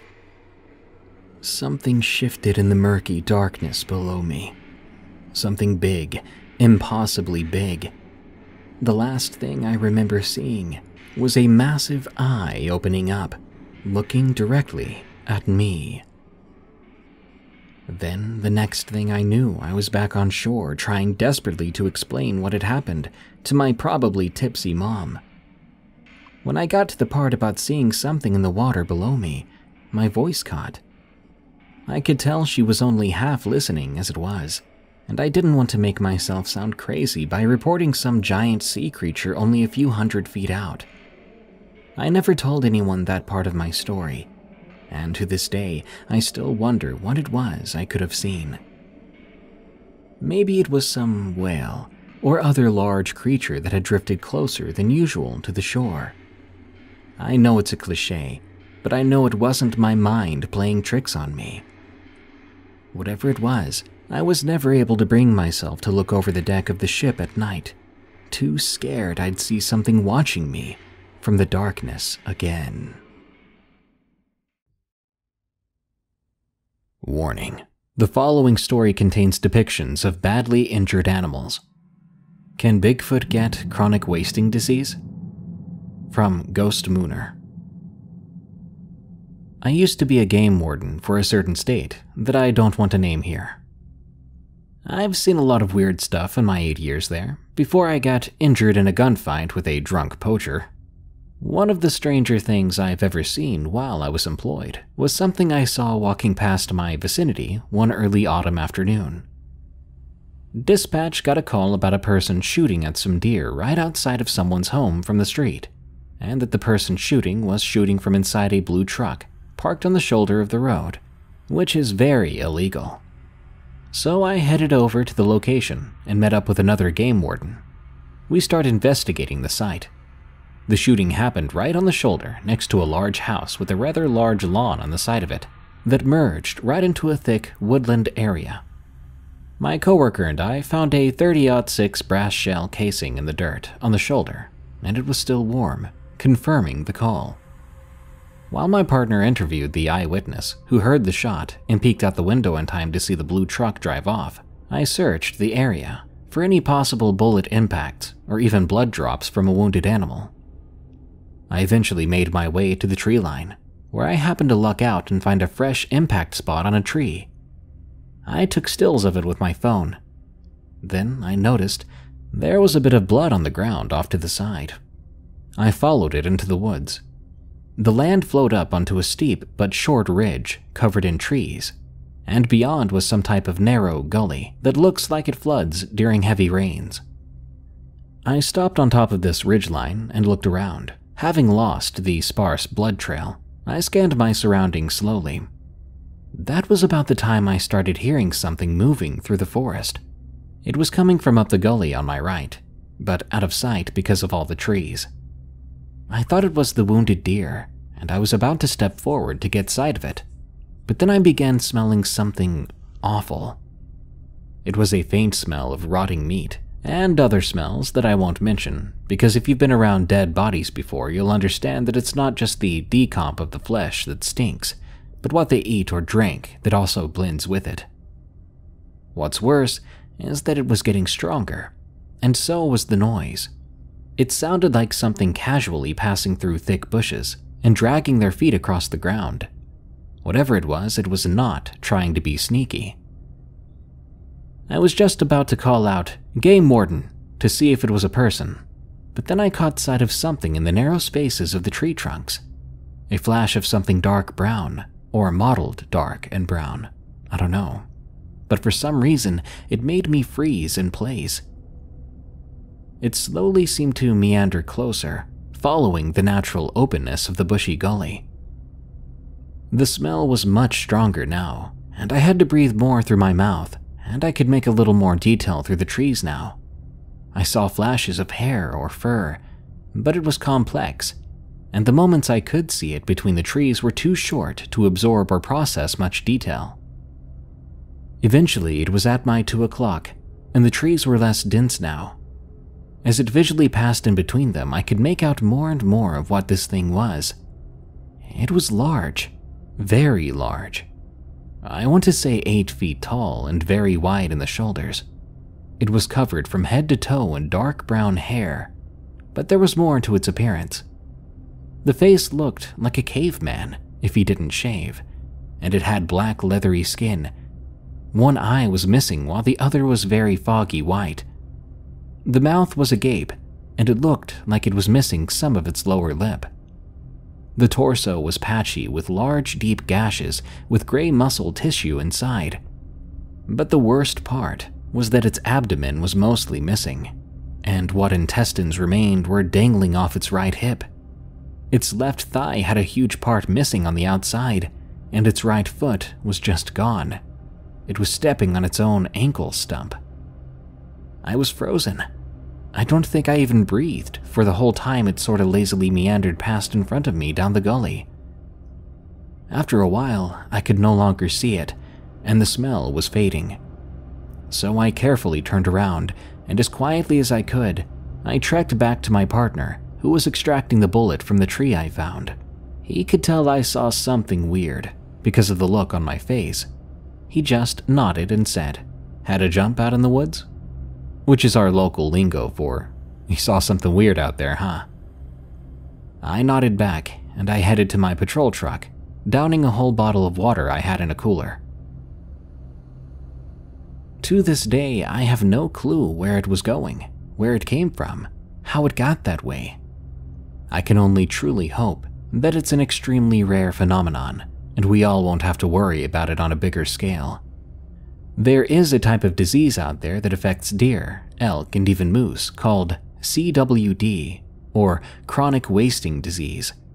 It's very nasty, and I've had to put down deer who had it. But whatever this Bigfoot, Sasquatch, or whatever the heck it was, had, that wasn't it. This creature was very dead. Its flesh and soft tissue was gray toned. To me, it was more like a zombie Bigfoot. The Ghost on I 4 from TE 74.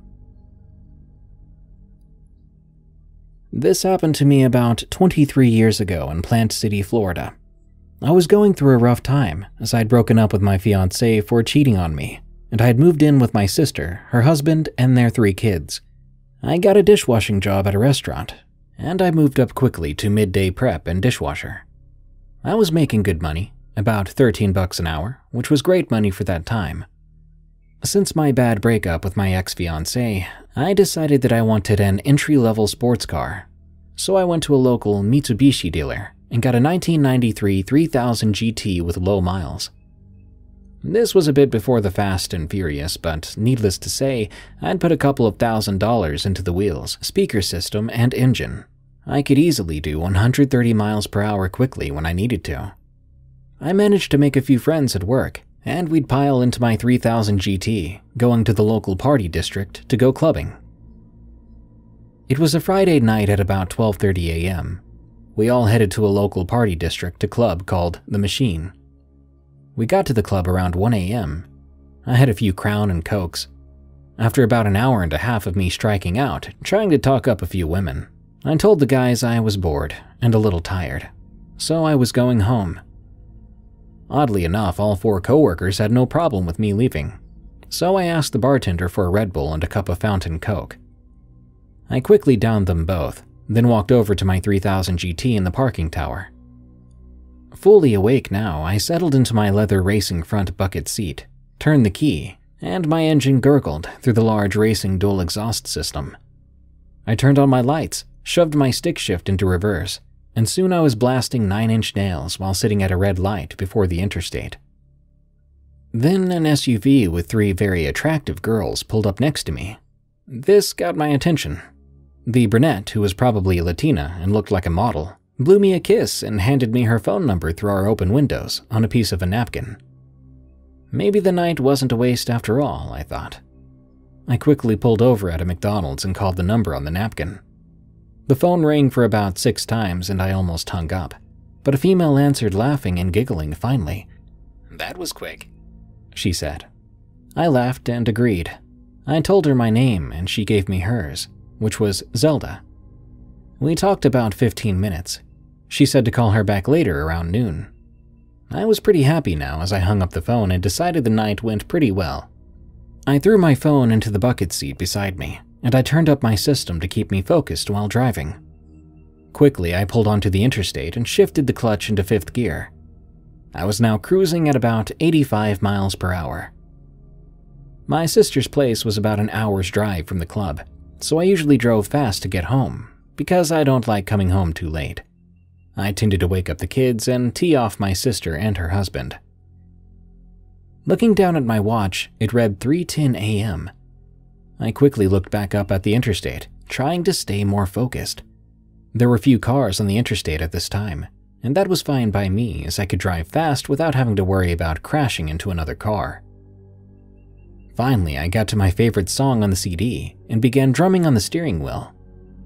I looked back out onto the interstate and noticed the light poles became more spread out, and the woods were blurring by on both sides of the car. For reasons I still can't explain, my CD player skipped, causing my attention to focus on the car deck briefly, and then back up as I drove under an overpass.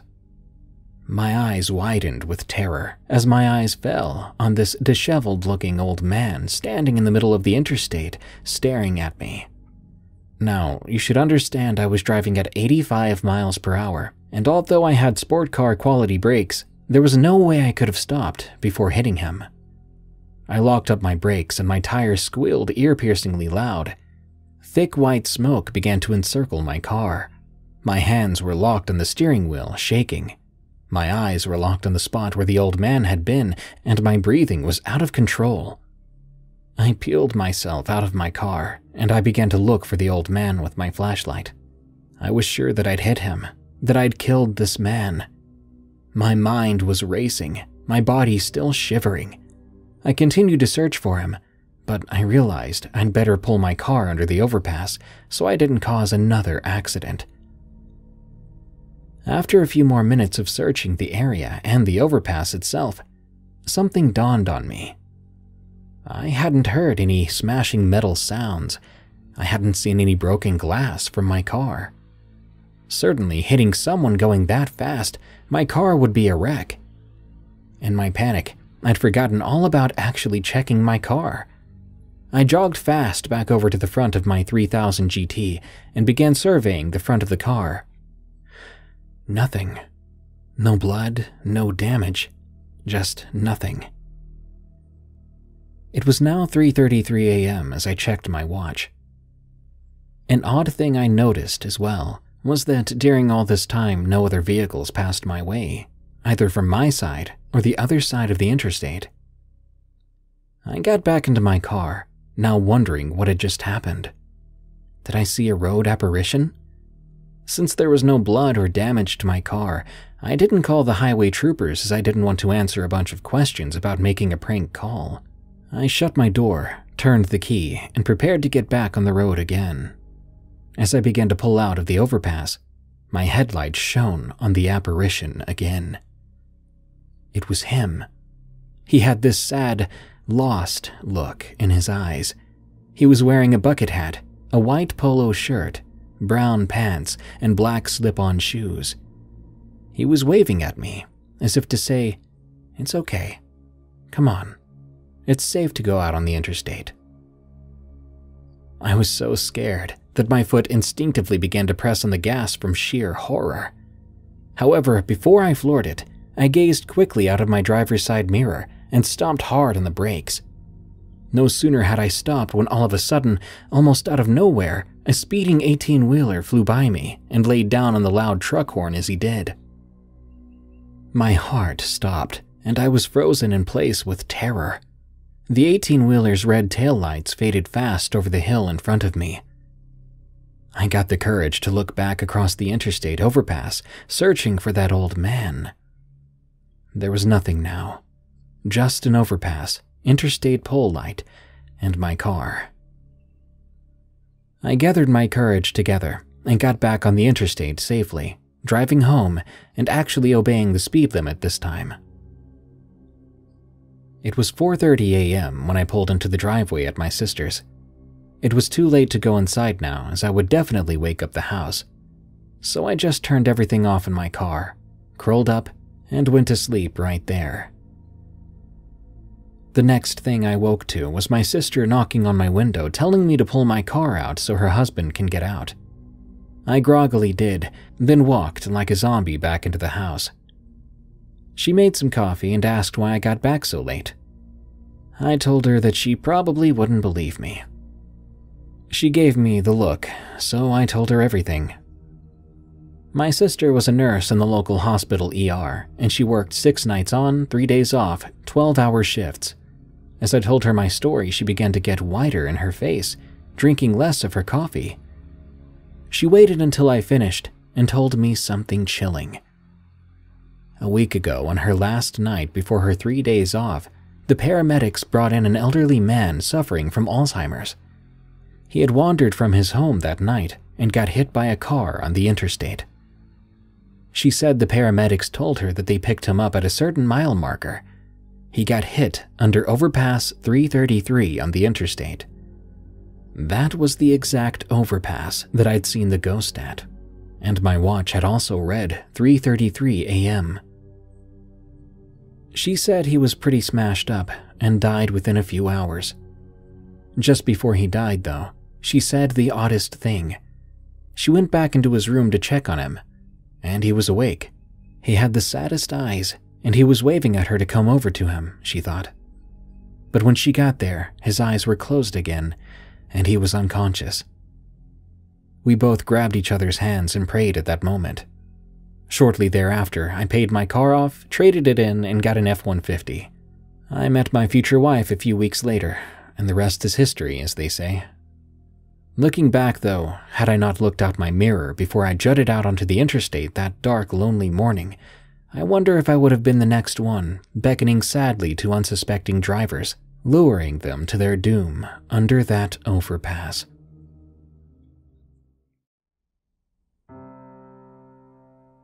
Terrifying Encounter in Small Town, Ohio. From Sindelina.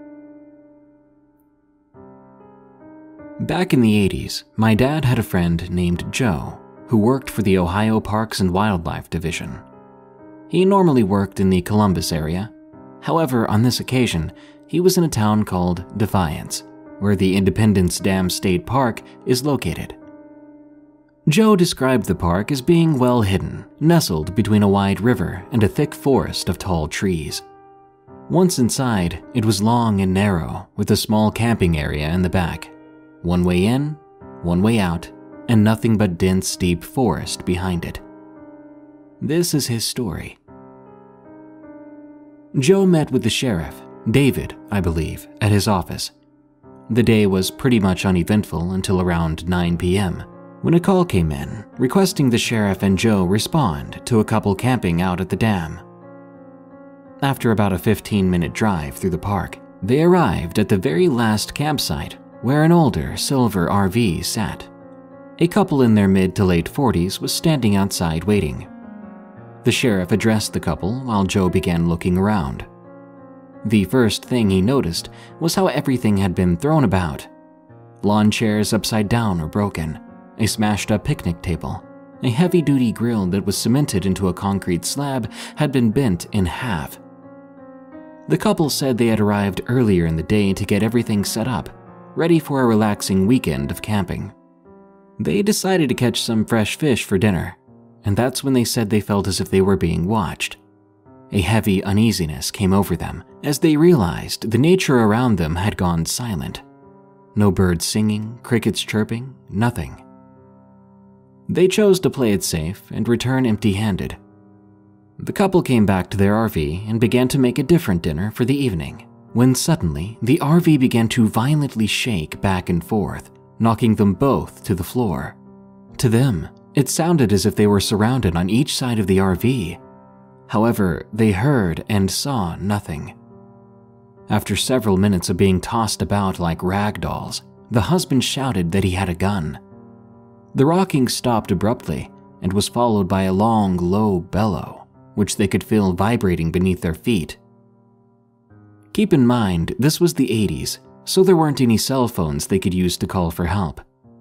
They waited a while before grabbing their gun, throwing the RV door open, and booking it to their truck. There, they drove to a payphone and called for help. The sheriff reassured the couple, telling them they would check out the area and find the people responsible. Joe said he never forgot what the lady said next. You aren't looking for people, Sheriff. You're looking for monsters. David went back to his vehicle, grabbed a shotgun, tossed a flashlight to Joe, and they headed out into the woods. Joe wasn't for a moment thinking anything other than this being a bunch of teenagers, but he did notice a look of concern on David's face. The deeper they went, the darker it got. It became so dark that Joe could only see maybe a couple of feet in front of him. At one point, he realized that David had stopped walking. When he turned to say something to him, he was met with a quick, hush. He watched David point his finger towards the darkness. Joe shined his flashlight where he was pointing, which was about 15 feet away or so. The area was thick with tall, wide trees packed tightly together. Between the trees, David whispered. Joe began moving the flashlight slowly up, then down, when he saw something. Pressed up against a tree was a leg, a man's leg, but larger and hairier. He then saw a long, oddly shaped hand, which reminded him of what a man's hand might look like if it had been broken and never healed properly. It had claws instead of nails, which were long, sharp, and wide. Joe felt his heart drop into his stomach as his legs weakened. Then he felt it the vibration beneath his feet the couple had described, followed by long, deep growls. The air became filled with a suffocating, pungent odor, causing both men to recoil in disgust. Joe moved the flashlight up a good eight feet off the ground. There he saw a face. It was covered in thick brownish gray hair and had the muzzle and teeth of a large canine. The eyes looked like two dancing orange flames, and they were looking right at them. Shoot it, Joe whispered to David. As soon as those words left his mouth, several of the same type of creature began slowly creeping out from behind the trees. We have to get out of here, David said softly while slowly walking backwards. Joe was the most terrified he'd ever been in his life, and he could not get his legs to move. He couldn't see them, but he could feel them moving in closer and closer with every passing second. The vibrations had become painful by this point, feeling as if his spine was getting ready to explode. Joe admitted to us that he thought those would be his last moments on Earth, viciously mauled by some unknown predators. When suddenly, a bright flash of light lit the night sky and a loud bang accompanied it. Horrific screams filled the air and Joe ran for his life. Later on, Joe found out that David had saw movement behind him. He fired his shotgun in the direction, hoping to scare whatever those things were off. Eventually, they made it back to the campers. Both men were black and blue, with scratches from head to toe from running blind. and the sheriff made them vacate the area immediately. The park was closed for a few weeks after that incident, telling the public it was for repairs. Before Joe left to come back home, he asked the sheriff what he thought it was they saw that night. Without hesitation, he said, Werewolf. He then went on to tell him about the Defiance werewolf spotted back in the 70s. Apparently, a railway worker had an encounter with one, which had been stalking the tracks late one night. Even many, many years later, Joe says it's one of his most vivid memories. He'll never understand what they were exactly, or what caused those crazy vibrations, but he does know that they're real, and he'll never return to that part of Ohio again.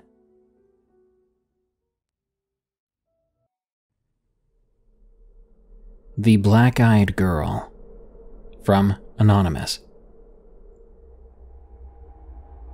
At the time of writing this, it was last week that I had a very strange encounter with the BEC, or Black Eyed Children. It was super creepy to say the least. I lost sleep over it.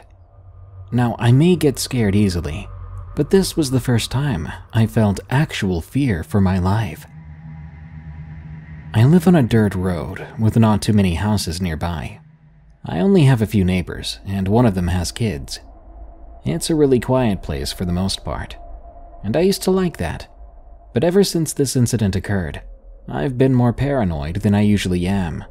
It began on one April night. It was pretty warm for a night in the beginning week of April. I live in the south, so it's nothing new. Anyway, it was around 12:40 a.m and I'm awake, just checking out my YouTube page and watching random stuff. Out of nowhere, I hear my big dog, Bella, beginning to growl at the front door. I have two dogs, three indoor cats, and one outdoor cat. And if you ask me, animals seem to be more sensitive to paranormal stuff than humans are. Anyway, Bella's growling was really unusual. She's a very friendly lab mix and never growls. So I look up from my computer and I could have sworn I saw something through the glass border around my front door. I tried to tell Bella to hush, since the walls were paper thin, and if she started barking, she'd easily wake the rest of my family. Luckily, Bella did calm down when she heard my voice, but she stayed put at the front door anyway. I thought everything was okay after that, but 10 minutes later, not only was Bella growling again, but my cats were all staring at the front door not blinking for even a second. It's like they were seeing something that I could not see. This time, I got up from my bed, as my bed is in the living room for past medical reasons, and as I took a couple of steps to the door, I heard a light knocking sound. Bella started growling a little louder at this point, and I immediately felt on edge. There was something or someone on the other side of that door. At first, I thought it was a burglar, but our doors are always unlocked, and if that were the case, they would just barge in immediately. I cautiously took a few more steps, and I stood beside Bella. I looked outside, and I saw what looked to be an eight year old little girl. She was really pale and wore something that looked to be a 1950s school uniform. But that wasn't the scariest part about her. When I looked closer at her face, her eyes were black every single bit of her eyes solid black. I felt my heart beginning to pound faster as she knocked again. Since there are two doors at the front entrance, I opened the inside door and asked her what she was doing out so late. She didn't answer me, but instead asked me if she could come in. What scared me was the way she asked it. There was a level of confidence in her tone that shouldn't have been there. Normally, if you're a kid late at night wanting help, you'd be nervous, you'd be scared, and that would be reflected in your tone of voice. But this girl spoke with confidence. I just stared at her for a few seconds before she asked again. This time she said my first name, along with her question. I immediately locked the outside door and shut the inside door, locking it too before going to the door that led to the garage. As I was about to lock it, I heard her voice coming from the outside of the garage. She said, Please let me in, miss. I won't hurt you. This scared the crap out of me so much that I froze. After a minute, which seemed like hours, I snapped out of my trance and locked the garage door. I then ran back to my bed, pulling the covers over myself like a frightened child. Still, I could hear her knocking every five seconds, asking to be let in. My cats were going nuts at this point, hissing at the doors. Bella was growling louder too. The animal's growling must have scared this little girl away, because I no longer heard her knocking anymore. Naturally, I didn't sleep at all that night, and I couldn't sleep much for the next few days either, only falling asleep for an hour before waking up in a panic. Whenever I did fall asleep for that one hour, I swear I could hear her voice calling my name, and I could see those black eyes of hers. It's been a week since this happened, and I haven't seen or heard from this strange girl again. I've read stories and knew enough to never let these children into your home. I'm glad I didn't. I have a feeling that if I did, I'd be locked in a mental hospital from going insane, or worse. There are monsters in Yosemite National Park. From Adam. There were fires in Yosemite National Park here in California on June 26, 2022. They were the Washburn fires that spread quickly. These fires revealed something that science cannot explain. I'm a firefighter, and during the fires earlier this year in California, a lot of rescue crews were called to help.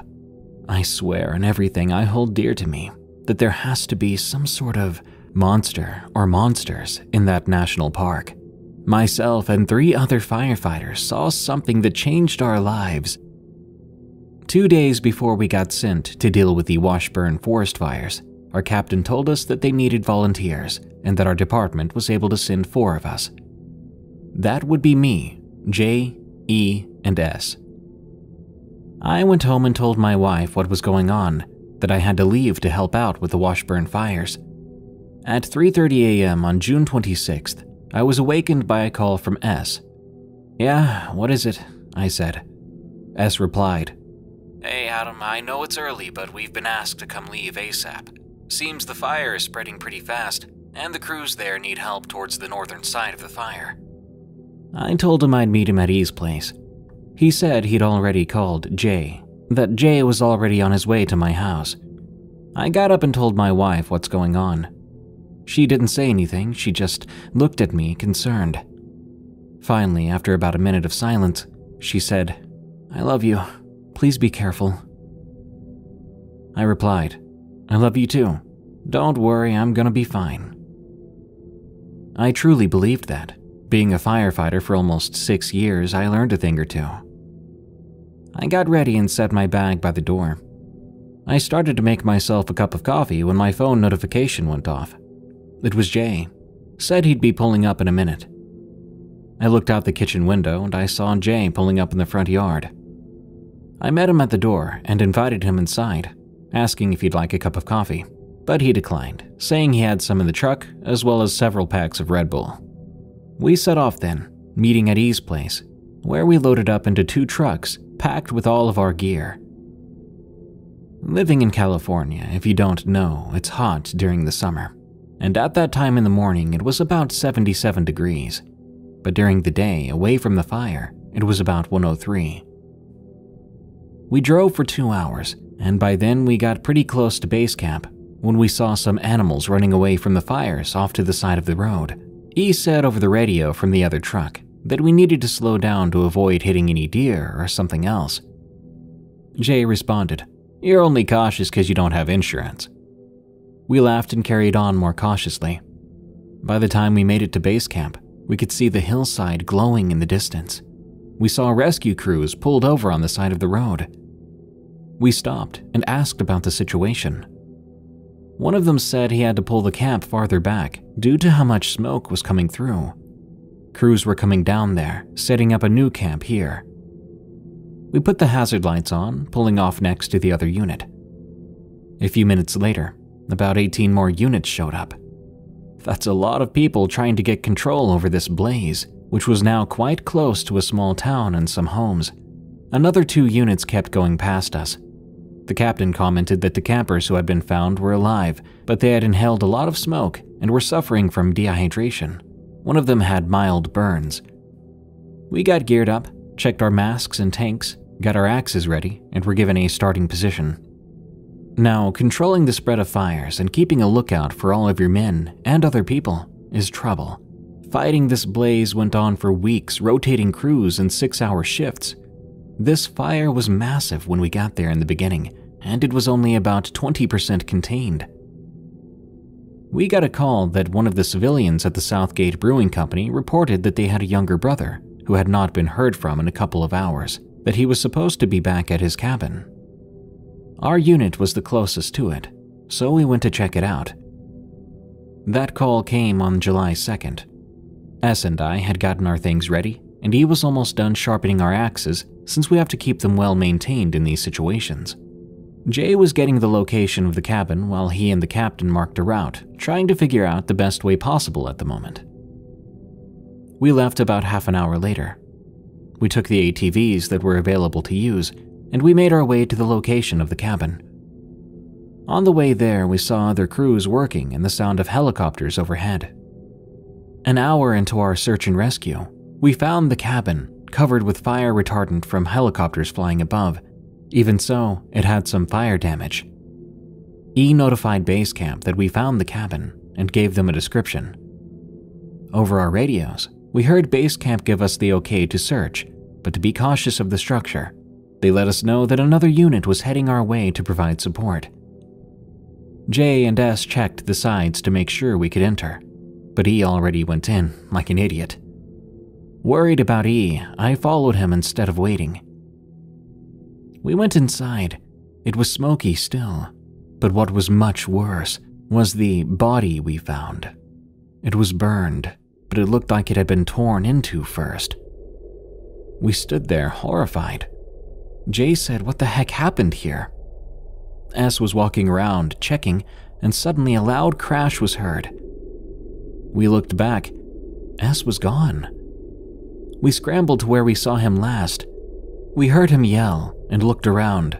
His cries seemed to be coming from a crawl space trapdoor kind of thing on the cabin. S yelled up at us to get a rope because his ankle had been broken.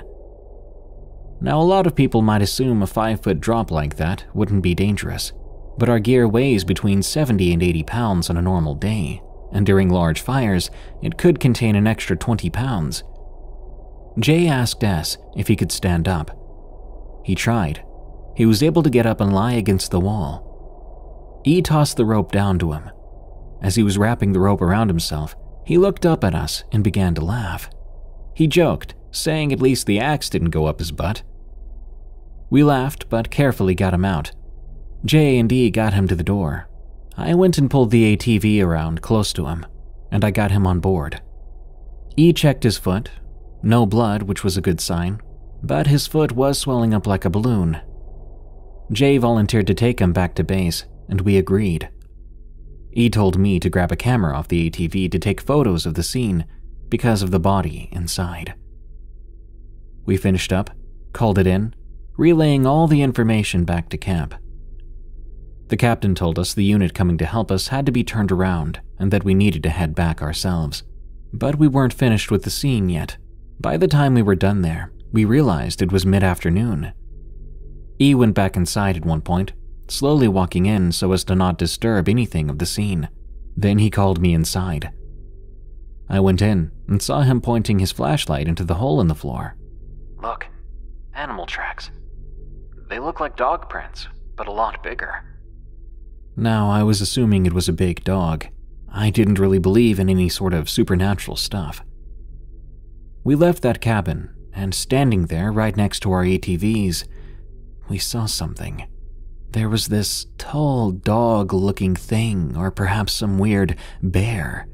I don't know what it was exactly, but when I saw it, I just stood there, frozen in shock. Then I was yanked backwards. I hit my back on the floor, E slammed the door shut, well, what was left of it, and he slid the charred couch and dresser in front of the door. I tried to ask what he was doing. but he put his hand to my mouth and glared at me as if to say, Quiet. Now, E is ex military. He'd been in the army for eight years. I've never seen this man show an ounce of fear, but there he was, pale white. He looked how I felt. He began to look around, axe in hand. He checked the three windows without touching them, but the one that was broken he covered with a small end table that he stuffed quietly to the frame of it. We both looked at each other then, not saying a word. Then we both remembered there was a massive hole in the floor. We looked around, then had an idea. We flipped the kitchen table onto its top, then slid it over the hole. We were thankful it was big enough to cover it. I whispered over to E. We're gonna have to leave soon. But he told me to simply listen. I wasn't sure what he was talking about. He shushed me and said, Listen again. What? All I hear is the wind and fire. Exactly. Something that big out there has not made a single noise. We called the captain up on the radio. We said we were stuck in the structure as it collapsed and we needed evacuation. We heard them say that Metaflight was on its way. We let them know to be cautious, as a frightened bear was in our vicinity. The captain acknowledged that information. You think we can make it to the ATVs? I asked E.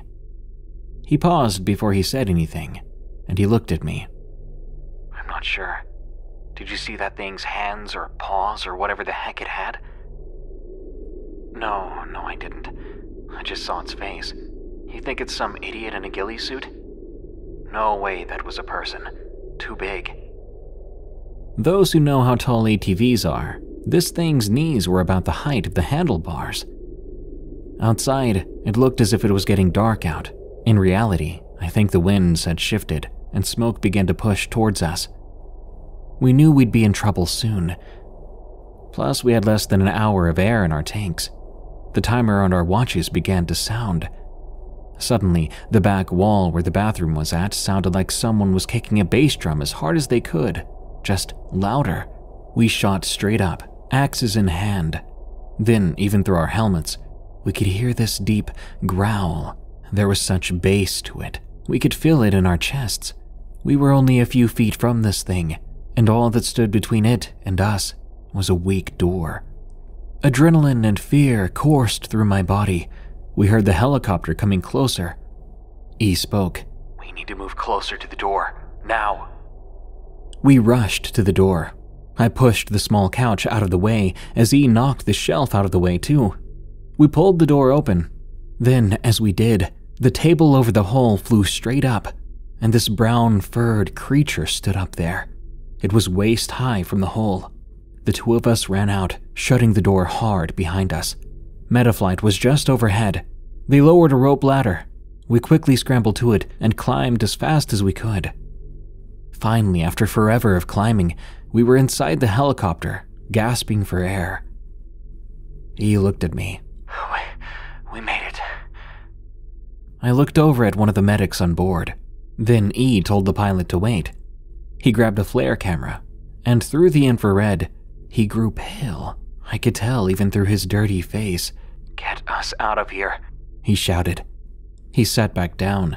I could see tears making a clear path along his soot covered face. We made it back to base, where Jay met us when we landed.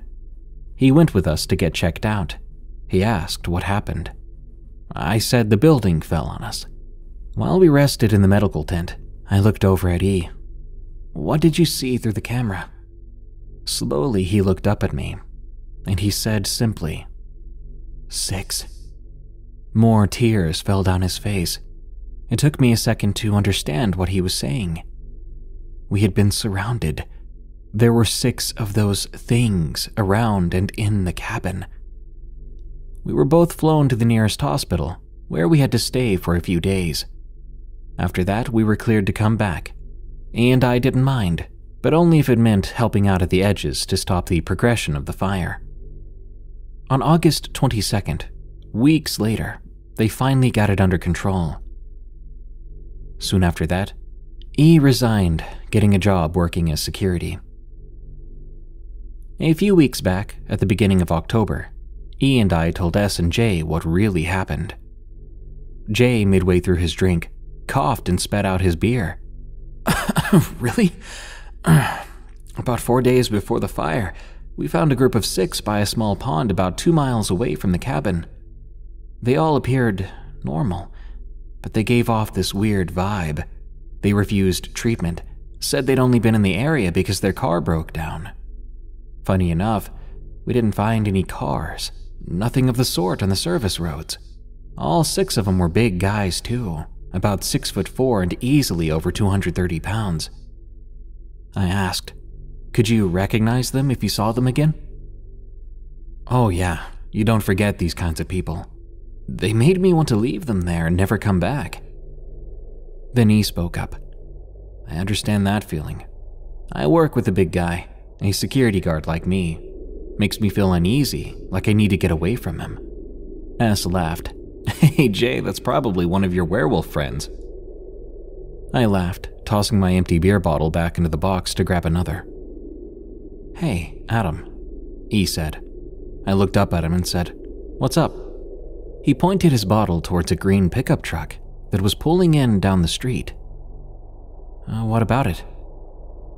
Well, that's the truck the guy at work drives, but the owner said he was on vacation, or hunting, or something. We all looked up at the truck. A large man was just getting out. We all laughed. S said, Let's invite him in for a beer. The sun was setting, and we all began getting ready to leave S's place. We put the chairs back in the garage, picking up the bottles from his driveway. As Jay was walking to his truck, the guy with the green truck at the house at the end of the street got into his truck and began heading down the road. He slowed down and pulled right up next to E's window while he was sitting in his car. Hey, ain't you the new guy at work? E replied, Uh, yeah? Pretty chill job, ain't it? I'll catch you later. He then drove off in that green Dodge pickup, and all I could think about was how dirty that truck looked. I looked over at Jay and he stood there staring straight at the truck. I asked if he was all right. Did you have too much to drink, buddy? I added, trying to be funny. He looked straight at me. Adam, that was one of the guys I was telling you about. Warning The following story contains harsh depictions of violence against pets. Cynthia. From Officer Nobody. I'm a young police officer in a southern city. As a child, it was my dream to become one. I made tinfoil badges and carved sticks to look like pistols. I took reports with crayons and chased imaginary criminals. Twenty or so years later, I average three hours of sleep and have grueling anxiety attacks. Like my peers, I've seen terrible things. It's what we signed up for, so I don't expect sympathy. In 2018, I responded to a welfare check where I found a two week old, decomposed body. The man had hanged himself with copper wire inside a closet. His skin was so rotted that it separated where the wire attached. It was an unwanted but gnarly anatomy lesson. It was mid June, so the smell was unbearable. But hey, dead bodies were a dime a dozen. In 2019, I helped scrape a woman from the pavement following a crash. Her survived husband watched from a distance. But hey, I dealt with hysterical loved ones weekly. In 2020, I watched a homeless man burn alive inside a shed. He had locked the door from the inside and couldn't find the key. The window was too narrow to climb out of. His space heater had caught fire. But hey, the fire marshal took the report. I don't mean to sound callous or smug. I only want to depict reality. The truth is, as disgusting as those stories are, they are not the reason behind my insomnia. They are not the reason for my anxiety. Frankly, I hardly think about them. My trauma comes from 2021 where I responded to a call that haunts me every second. It was around 3 a.m. I was typing a larceny report in my car while Ozark played in the background. It was the scene where Wendy's lover gets thrown off a building and goes splat in front of Marty. Crazy scene, It was a mid 80s summer night amongst a full moon. By that time, everything was calm. The night shift was short-handed, so my typical beat partner wasn't working. Dispatch requested me for a welfare check. Welfare checks are usually harmless, although it is when you find the most dead bodies. Welfare checks are what they sound like checking the welfare of a person and ensuring they're okay. The reporting party is usually a family member who couldn't get a hold of the person. I received this information and began driving. I was tasked with checking the welfare of an elderly woman who lived alone on the outskirts of town, barely within city limits. Her granddaughter lived a few states away and hadn't heard from her. She assumed that her grandma accidentally switched her cell phone to silent, as she often did. Dispatch usually sends two officers, but every now and again they'll give an officer an option to take the call alone. Because of staffing levels and the nature of the call, I decided to handle it myself. Worst case scenario, Granny bit the dust, and I would call a medical examiner to work an unattended death. I drove a good 15 minutes to the residence. Another 100 feet north, and it would have been county jurisdiction. Lucky me, right? There were no other houses in the area. It was so quiet that the sound of gravel under my tires was thunderous. Beyond the mailbox was a locked gate and a long dirt driveway. I absolutely did not want to walk that driveway alone in the dark without my patrol car. I grabbed my radio to call for another officer, but changed my mind. I would have looked silly asking for help after committing to doing it solo. Plus, it would have been an even longer drive for them. I decided to man up, jump the gate, and make what turned out to be the worst decision in my life. If it wasn't for the moonlight, it would have been so dark that I couldn't see my feet. I was trained to be tactical with my flashlight, only using it in short bursts. It was a good way to be sneaky. I finally reached the house and stood in front of it. It was an old wooden home with two stories. Every window was pitch black, besides one on the second floor, and had a purple curtain with white stripes. I stepped on the unstable wraparound porch and listened carefully. There was nothing but absolute silence. No TV, no creaks, no fans, nothing. Tentatively, I knocked and announced myself. There was no answer and no noise. I knocked even louder and announced again. Still nothing. I stepped off the porch to reevaluate the situation. Once far enough, I looked up to the second story. The light was off. Typically, something like that wouldn't creep me out, but the hair on the back of my neck stood straight up. Since the light was off, I couldn't see whether someone was looking back at me. I had a terrifying feeling that they were. I grabbed my flashlight and shined it in through the window. No one was standing there, but the curtain had moved and was still swaying. I went back to the door and knocked even louder, telling her who I was and why I was there. Cynthia, it's Officer Blank with the Blank Police Department.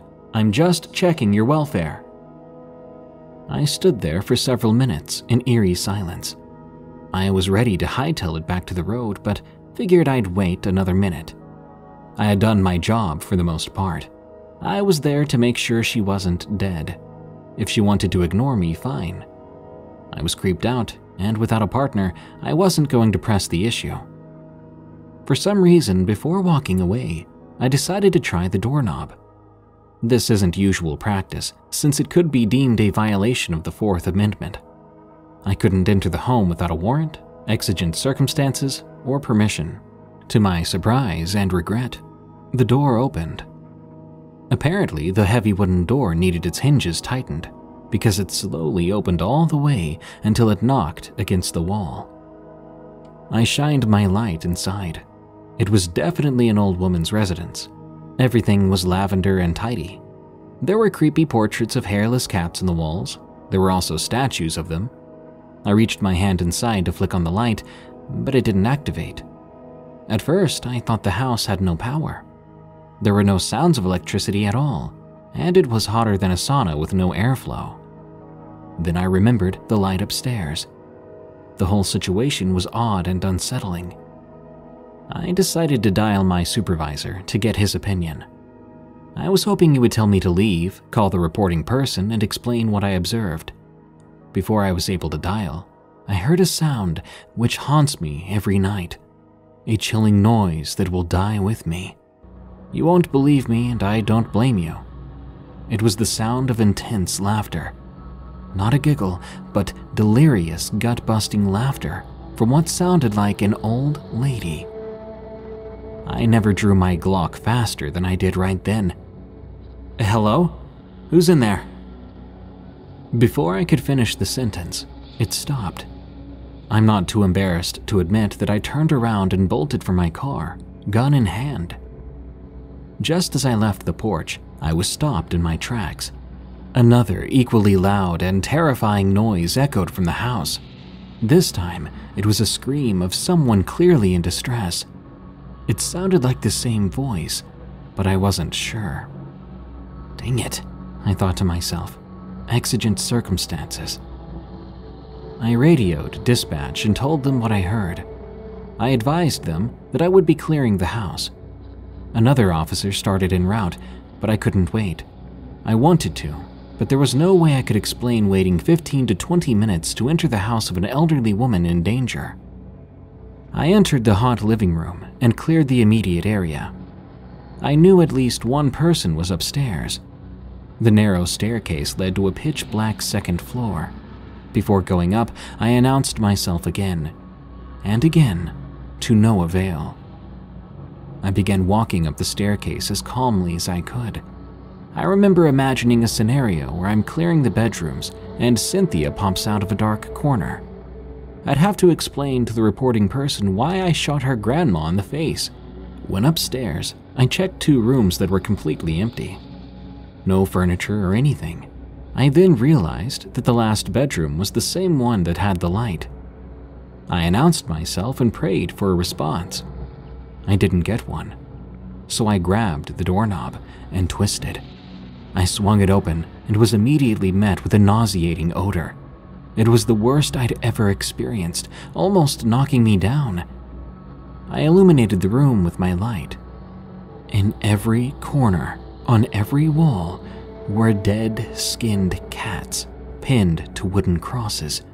Some were rotten, some were fresh. There was dried blood literally everywhere. Fur and detached claws covered the floor. I dry heaved as I cleared the closet. It was empty. I stumbled my way back downstairs where I vomited on the front porch. I ran to the road to wait for my partner. Once he arrived, we called for even more people and my supervisor. We cleared the house again with no signs of Cynthia. Fast forward to the next evening. The reporting person flew in with other family members. They searched the 10 or so acres and found an old abandoned car in the brush. They found her grandma there, leaned back in the passenger seat, deceased for what appeared to be several days.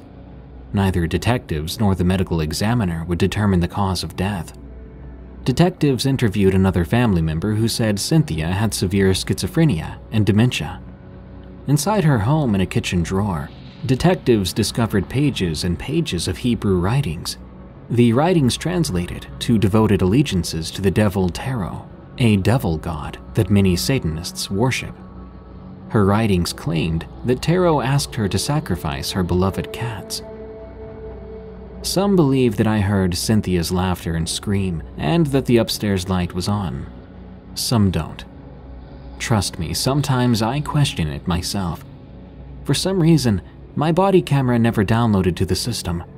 It's like the footage never existed, even though I know it was on.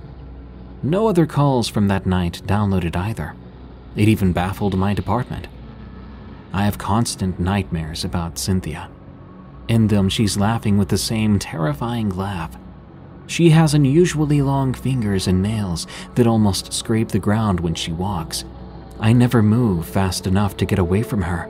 I reach for my gun, but it's never there. She always gets me, and then I wake up. I don't know why I'm still a cop. Maybe it's all I know how to do. I only have 12 more years and many, many more therapy sessions before I can retire. I wasn't a supernatural believer before my experience, but I am now. To those aspiring to be police officers, heed my advice. Be a firefighter instead. I'm glad I didn't accept that ride. From Kingly. So, this is something I need to get off my chest, as I've never told anyone before. A few years ago, I experienced the strangest thing that's ever occurred to me. Honestly, my skin still crawls every time I think about it. At the time, I was in my mid 20s, a college dropout that was just struggling to survive paycheck to paycheck. Back then, we only had one POS car.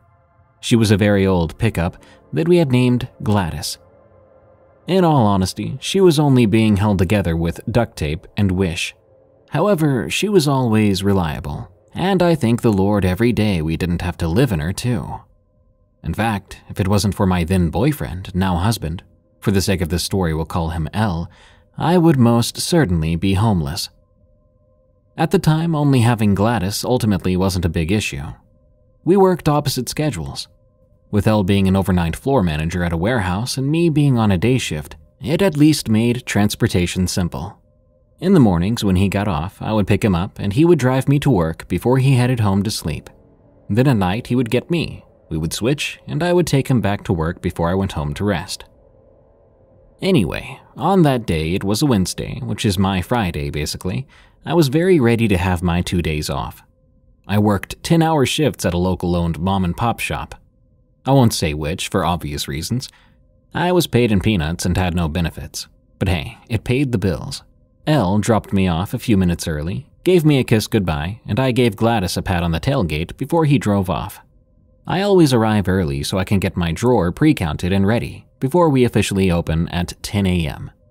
Due to this, the owner, who we'll call R, gave me third key privilege, which really just means more work and responsibilities without the extra pay.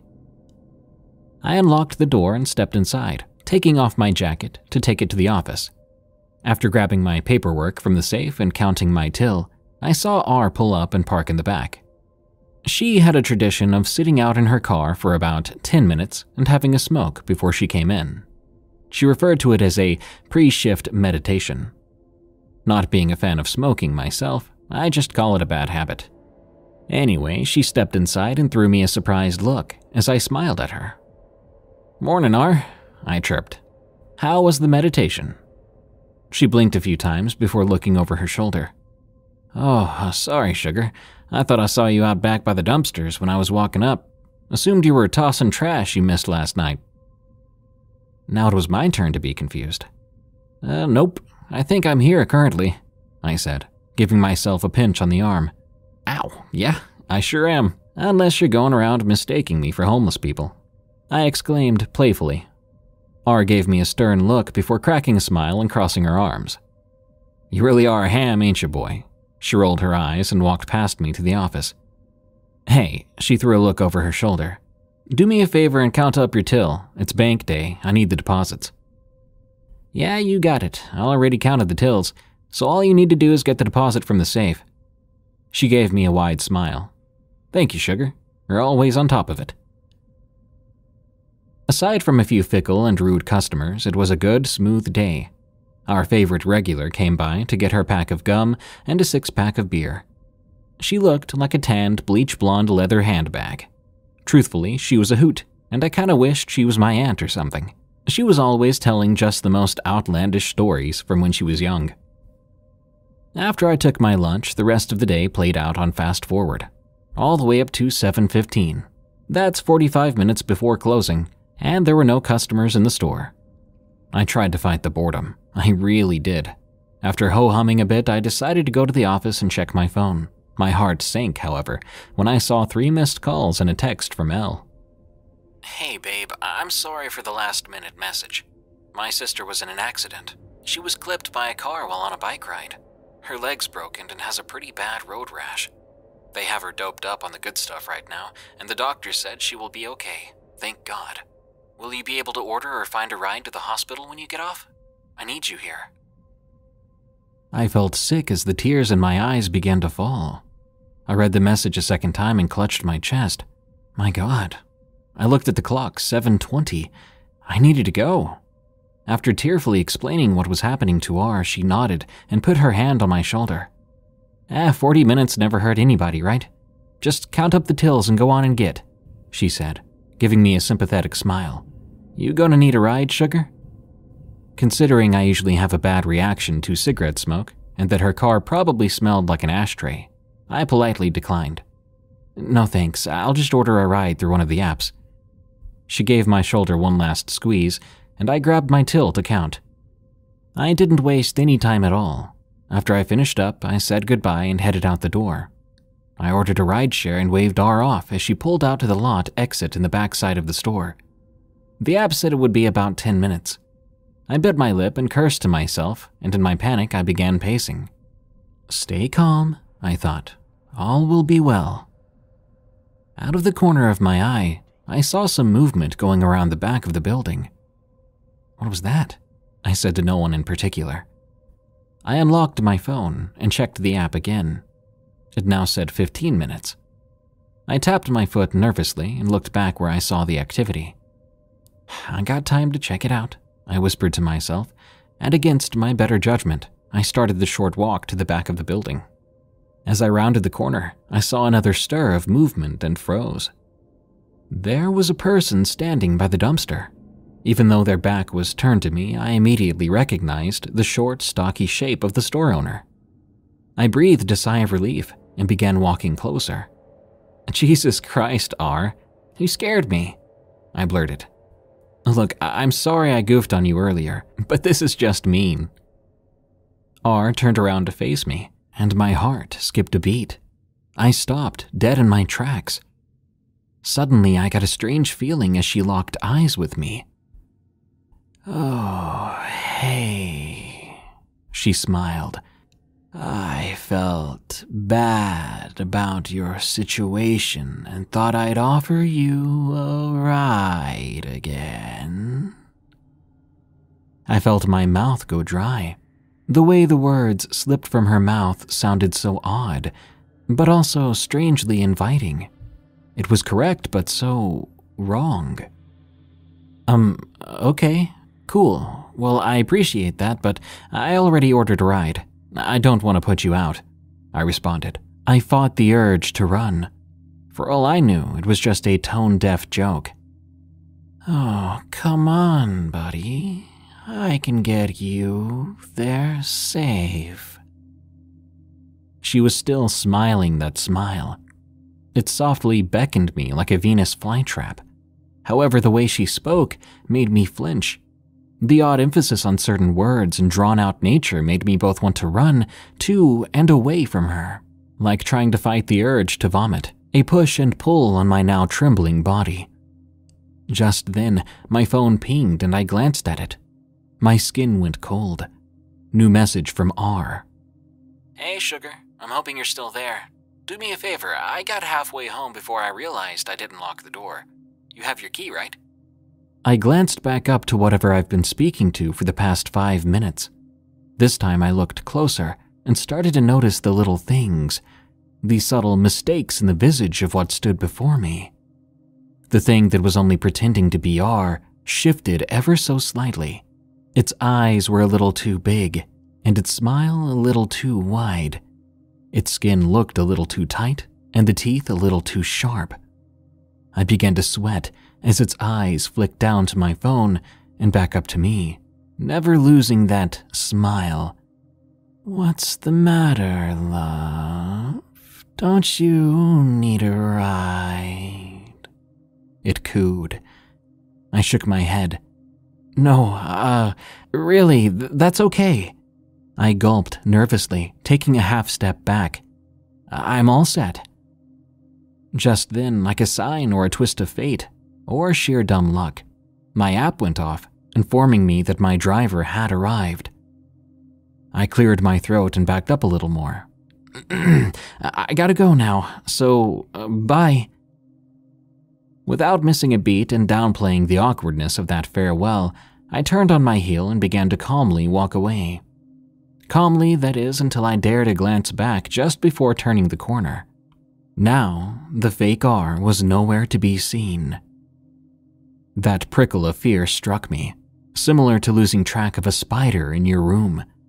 After that revelation and the absence of a presumed threat, the flight response fully kicked in and I ran like a little punk. I'm not ashamed to admit it. After apologizing and giving an excuse to a very startled driver, I finally got the heck out of there. It took everything I had during the 20 minute ride to the hospital not to burst into tears. I had so many questions. What on earth was that thing?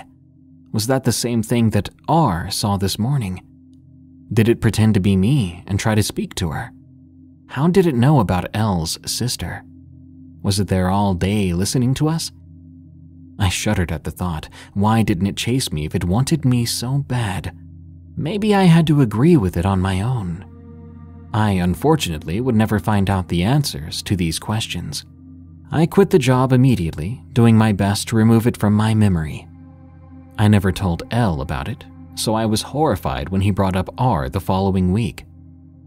Whoa, hey babe, looks like that lady that owned the store you used to work at went missing yesterday. I nearly dropped my phone when he said that. What? He gave me a soft look and patted my hand. Apparently, R's car was found at the store yesterday morning by the leather handbag lady. She was not inside, so she made a report with the police. They never found her. To this day, I still occasionally pray for R. I pray that she's okay and is hopefully just missing. I also pray that if that wasn't the case, and whatever happened to her was by the hands of that thing, that it was fast and merciful. Finally, I pray the hardest that the last thing she witnessed before she vanished into thin air wasn't something that was pretending to be me.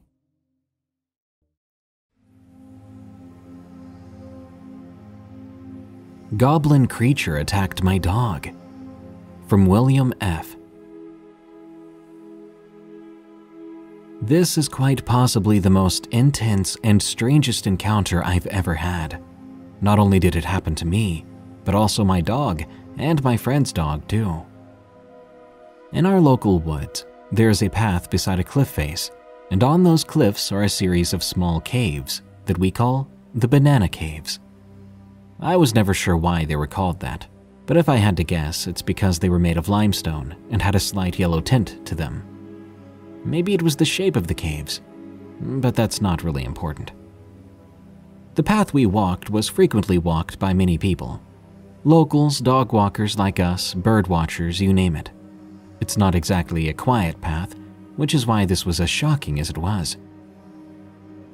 My dog and my friend's dog are great, and they're amazing off their leashes. They just go and do what they need to do and don't bother anyone or any other dogs. Of course, dogs will be dogs. Mine being a bit of an adventurer, it began climbing the bank that day toward the cliff face and near the caves. I tried to call him back down more than once. At one point, I called him again, but something had caught his eye. His head went real low to the ground, and his ears went straight back. I thought this was strange, because if it was a rabbit or a squirrel, he would have just chased it. But no, he stood as still as a statue. I shouted louder this time for him to come back down the path. Then there was a huge commotion. He went into fight mode. He backed up while barking and snapping at whatever the heck it was. I began to climb the bank myself in a panic, making sure it wasn't a badger or worse. My dog charged forward, and that was it. He yelped and barked, and it was awful. What I saw was this monkey like creature with pointed ears. It had no fur at all that I could see. It was black and leathery, with black eyes. It had latched onto my dog's neck, hanging onto it, like the way a sloth would do to a tree or a caretaker. My dog shook and rolled fiercely, but this thing just held on. It felt like ages before I finally reached my dog. I'd been running as fast as I could up the bank. My friend's dog joined in on the commotion as she ran past me and began barking and snarling at this creature and my dog. As I got closer, I picked up a stick and instantly swung at the little creature, terrified it was seriously hurting my dog. I hit the thing directly in the back of its head. But it didn't budge straight away, so I hit it again, and this time I cracked it against its back. The creature then jumped off my dog, just like you'd imagine a monkey would. I got a look at it again and noticed it had a bat looking face with two sharp front teeth. It did this little spin and looked like it tripped, sort of, but eventually it dashed off on all fours, climbing up the cliff face and disappearing over the cliff edge. Luckily, my dog was pretty much unharmed. He had a slight cut above his eye, a cut on his nose, and a cut on his chest that looked worse than what it was. There was just a lot of blood. I have no idea what this thing was, but my friend saw it too from the bottom of the bank and confirmed the exact same thing I saw. I believe it to be a goblin of some sort. Otherwise, I have no idea. If you have any idea, please enlighten me. I'd love to find out more. I live in the northeast of England, if that helps.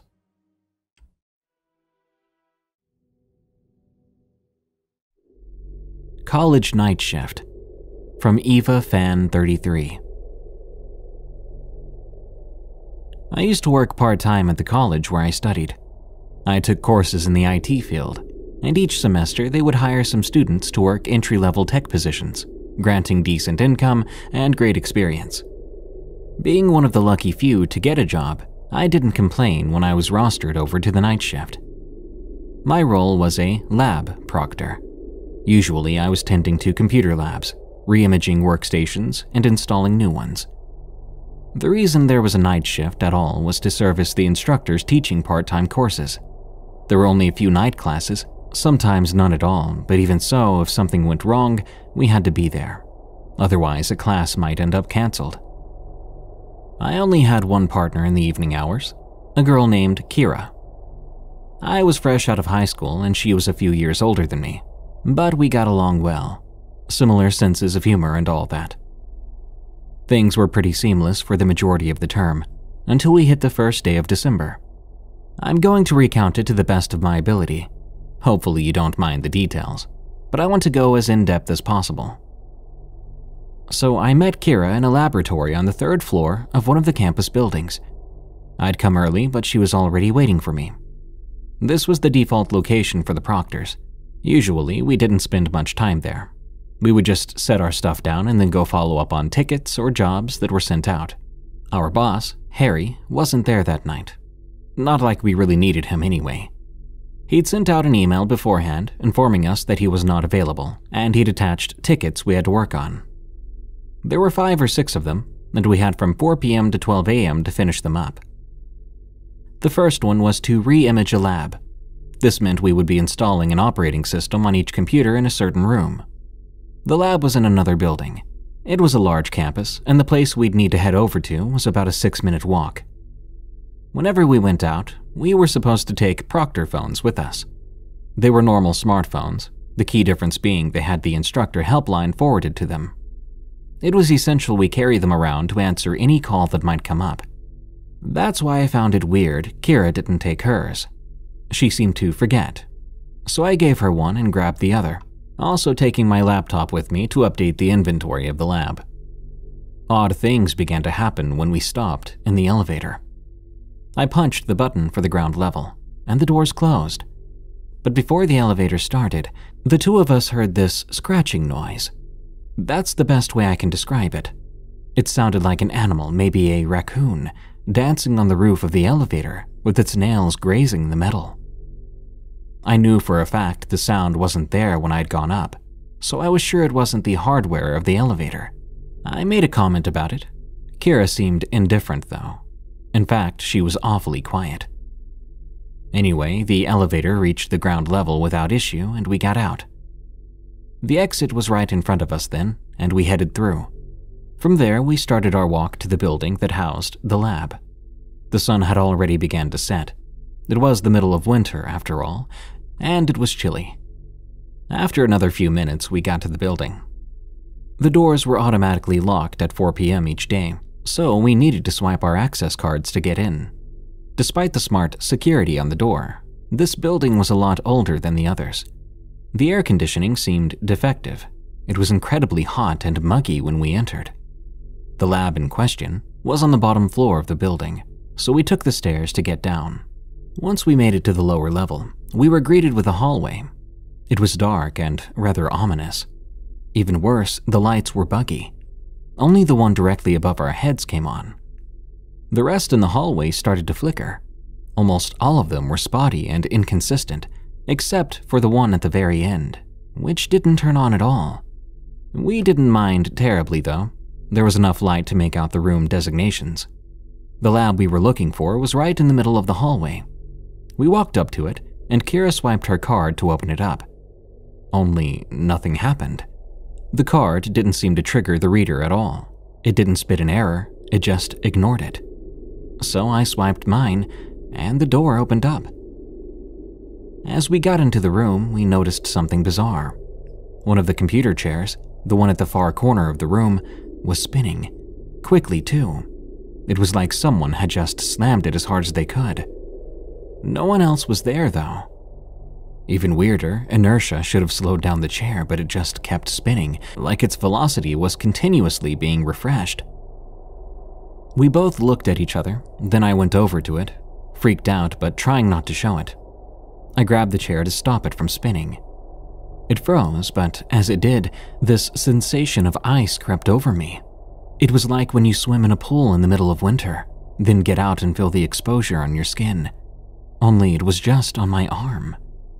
I must have freaked out a little, because Kira asked me if I was okay. I said I was fine, and then the sensation went away. Like there one second, gone the next. After I recovered, I was going to make a comment about the chair, but she had already gotten to work, so I didn't bother, instead, following her lead. It seemed to me she was having a rough night because she fumbled with the keyboards, apparently forgetting how to open up the boot menu. So I took over her machines for her. It wasn't hard work after all. She sat down and watched me, looking very tired. It took about 15 minutes to begin the imaging process on all the computers. I read over the next ticket. It involved pulling up a workstation in a different lab back to the proctor room to diagnose it, because it had some hardware issues. I checked with Kira to make sure she was okay staying in the lab by herself. She didn't have a problem with it, so I left. I did feel uneasy about her being alone, though. I didn't really know why. Something bothered me about it, but I knew it would be redundant for both of us to wait there. So off I went. As soon as I stepped into the hallway and shut the lab door, the scratching sound returned. It was right over my head then, in the ceiling. The exact same sound from the elevator in the other building. I could hear it more clearly without the noise of the cables moving up and down. It sounded less like a raccoon and more like a dog. There was some weight to whatever creature was making the noise. It seemed to be digging, furiously, as if it was trying to get through the ceiling. I tried to ignore it and headed down the hallway, but the sound followed me. Every fluorescent light I passed turned off, like whatever was making that sound up there was cutting the wires. Paranoid, I sped up and eventually reached the end of the hallway. The noise followed, and quickly it cut off the very last light. Freaked out and a little frustrated, I yelled something along the lines of, Enough! And just like that, the noise went away, as if it was never there. I was really anxious at that point. I think I tried to rationalize it as I passed living between levels of the building. Just as I was about to take the stairs up to the ground level, though, I remembered Kira. My stomach dropped as I thought of her. It was the same feeling of uneasiness. Not necessarily for her safety either, I just felt strange. It's hard to explain, but anyway, I ran back down the dark hall and opened the lab door to check on her. To my dismay, she was gone. The chair she had been sitting in just before was empty, but now it was spinning rapidly just like the one from the first time we entered the room. I didn't know what to do. I was beyond freaked out. I spun around, pale as a ghost, when I heard the door to the lab unlock. Lo and behold, it was Kira. She was fine, apparently, even smiling, unlike when I had saw her previously. Then she asked me a confusing question. Hey, why didn't you wait for me? I blinked, confused. She told me that she had arrived in the proctor room to find it empty, with me and the phones already gone. She had to look up the first ticket to find out where I was, and then she came and found me. I just sort of stared. I must have given her this look because she was like, What's wrong? Then I explained to her that I had met her earlier that shift, and we headed to the lab together. She looked at me like I was stupid. She iterated again that she had been late and had to look up the room to find out where to go. I think I snapped then. I said something along the lines of, If this is a joke, it's not funny. She asked me what I was talking about. That's when another realization set in. When you're in some freaky situation like this, you don't sweat the small stuff. You don't take in every detail. So I only realized then that Kira was wearing something totally different than what I'd seen her in before. There were two possibilities. Either this was some elaborate prank where she left, changed, and came back, all the while messing with the lights. Or there was something really bad going on. That's when I decided to check. I told her that she had taken the Proctor phone and she insisted she hadn't, saying both phones were gone by the time she'd gotten there. So I took out my own phone and called the number of the Proctor phone she had, fully expecting it to ring from her pocket. But it didn't. The dial tones played, but the device itself must have been too far because we didn't hear it anywhere. Kira looked at me, annoyed, and I was about to apologize for accusing her of lying before I was cut off. Someone answered on the other side of my call. I heard nothing at first, but the dial tones had stopped, and it didn't reach voicemail, so I knew someone had picked up. Immediately, I put the phone into speaker, mouthing the word, listen, to her. We both stood there silently. As I turned the volume to max, we picked up on a noise. It sounded like breathing, faint but audible. Someone absolutely was there. Kira, who wasn't half as freaked out as I was, decided to say something. Hello? Immediately after she spoke, the breathing stopped, only to be replaced seconds later by this heaving, like laughing but dry, almost silent, the only noise coming from the diaphragm changing shape.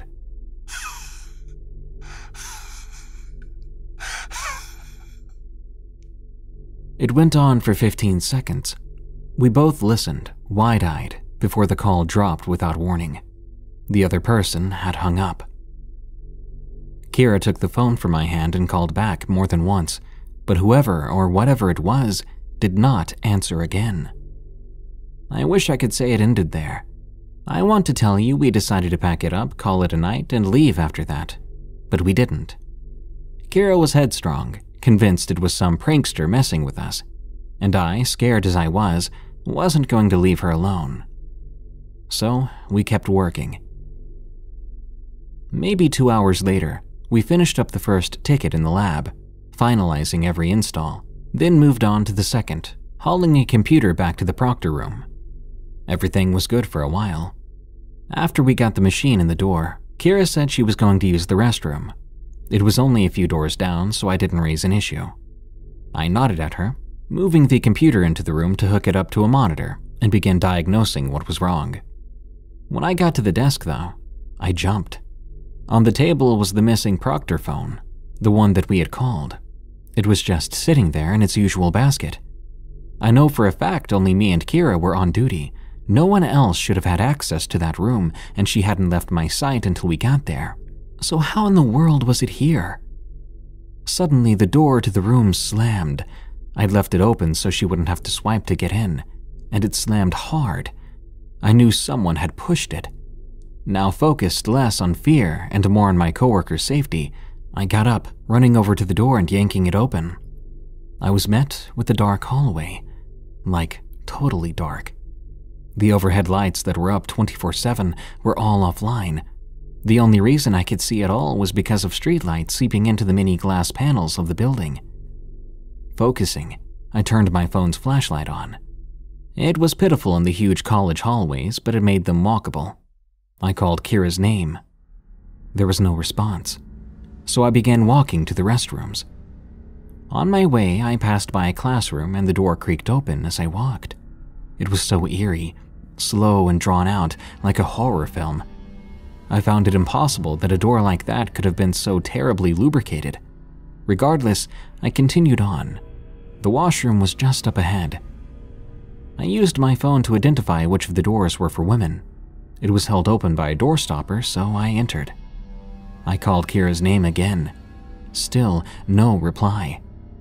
I felt a little weird about going into a female bathroom, but given the circumstances, I really had no other choice. Shining my light around the room revealed no one. It was small. I could see almost every corner, and Kira was not there. The only thing amiss about the room was the stall door. It was swinging back and forth, making no noise at all. Just like the chairs from before, it showed no sign of slowing down. I remember being mesmerized by it, standing still to watch it glide. I was snapped back into reality from the sound of footsteps in the hallway. Immediately, I shot back out, calling for Kira again. By the time I'd exited the restroom, the footsteps were already down the corridor and behind a corner. It sounded like the other person, whoever it was, was running. So I ran after them. It was like something from a cartoon. No matter how fast I ran, they always stayed a little ahead of me. I could never quite reach the person, but I was always close enough to follow. I was led up and down stairs, down all sorts of different hallways until finally, it stopped. I was huffing and puffing as I turned past the last corner. There was only one door there, and it was ajar. I recognized it as one of the School of Health classrooms. I caught my breath, now irritated that I'd been led around the school. Then I walked up, shouldering the door open. The room was entirely dark. I reached over for the manual light control, flicking it up. It was able to override whatever had kept the hallway lights off, and it turned on, illuminating the room. Oh man, I wish I didn't flick the light switch on. There were skeletons. I don't mean real skeletons, it's one of those models you've probably seen in science classrooms. About the same size as a human one, but made out of plastic or some composite material. Anyway, in every single chair sat a model skeleton, they were all turned to face me. It was horrifying. Who the heck had set up all these, and when? As I took a step backward from them, there was an ear splitting noise. I blinked, and every jaw fell off the skeletons in unison, clacking to the floor, like they were all severed off. There I was being stared down by an army of jawless model skeletons. Right away, I noped out of there. As I ran, I could have sworn I heard plastic joints cracking as if they were pursuing me. I took the nearest exit, pushing out of the building into the cold night air. I remember taking a minute to catch my breath and process what the heck had just happened. I wanted to run, so badly I wanted to run, but Kira was still in there somewhere. She wasn't picking up her phone. I even called our boss Harry, but he didn't respond either. At that point, I was fed up I think I was going to call the police, but was trying to work out how to get across my story without sounding insane. Then, something caught my attention.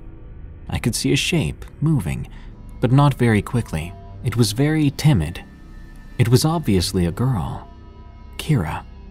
Even in the low light, I knew it was her because of the short crop of her hair. She walked out of the shadow and onto the path. It was so weird. Ten feet away, she faced away from me, dead center in the middle of the walkway. I remember calling out to her. I wasn't thinking. If I was thinking, I would have known something wasn't quite right. But I was too worried about her and too glad to see her again to be careful. I said her name, and then she started heaving. Facing away from me, she was doing this convulsive motion, like she was hysterically laughing. Only there was absolutely no sound coming from her. None. It went on for minutes, the same horrifying movement. I backed up, slowly to the door I'd exited from, automatically swiping my door and pushing on through. When I turned back only a few seconds later, she, if you can call it that, because it obviously wasn't Kira, had disappeared from the path. As soon as she was gone from my view, the lights turned back on.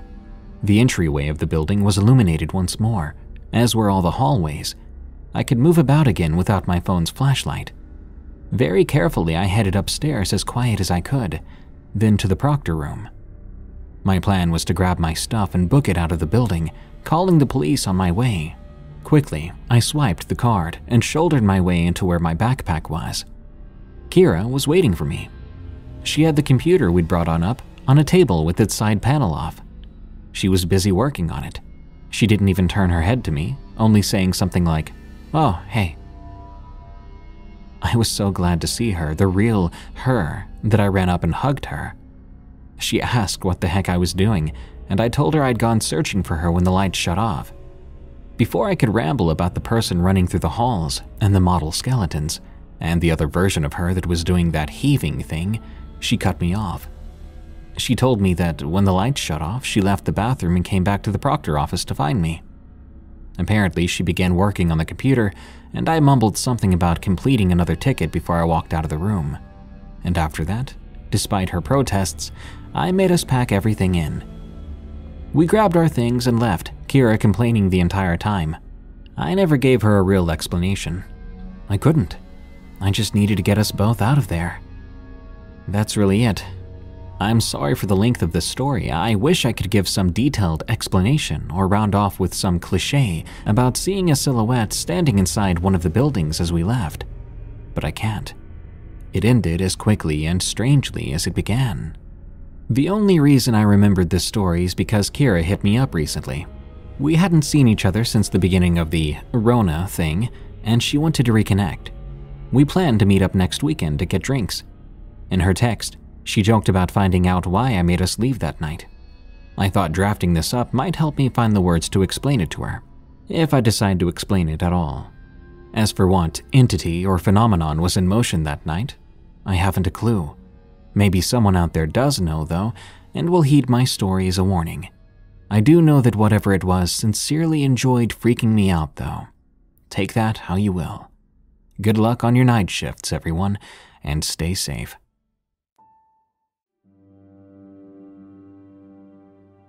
My traumatizing encounters with a murderer. From Cody. Back then, I was eight years old and living in California. I'm here to tell you that some people are freaks. This happened in my hometown, which I won't name here for privacy reasons, but I will say it's a small rural town in California near the Oregon border. One day I was walking back home from my school which was about a 10 minute walk from where I lived. As I said, I was 8 years old, and I never thought anything bad would happen in a small town like that. Everyone knew everyone, or so we thought. As I walked, a white van with no windows or license plate. I was a very attentive kid. The man inside the van said he was new to town and asked me where he could find the local Walmart. For reference, the local Walmart was about 50 minutes away, so I told him the nearest one was in another town about an hour away, and I told him the name of the town.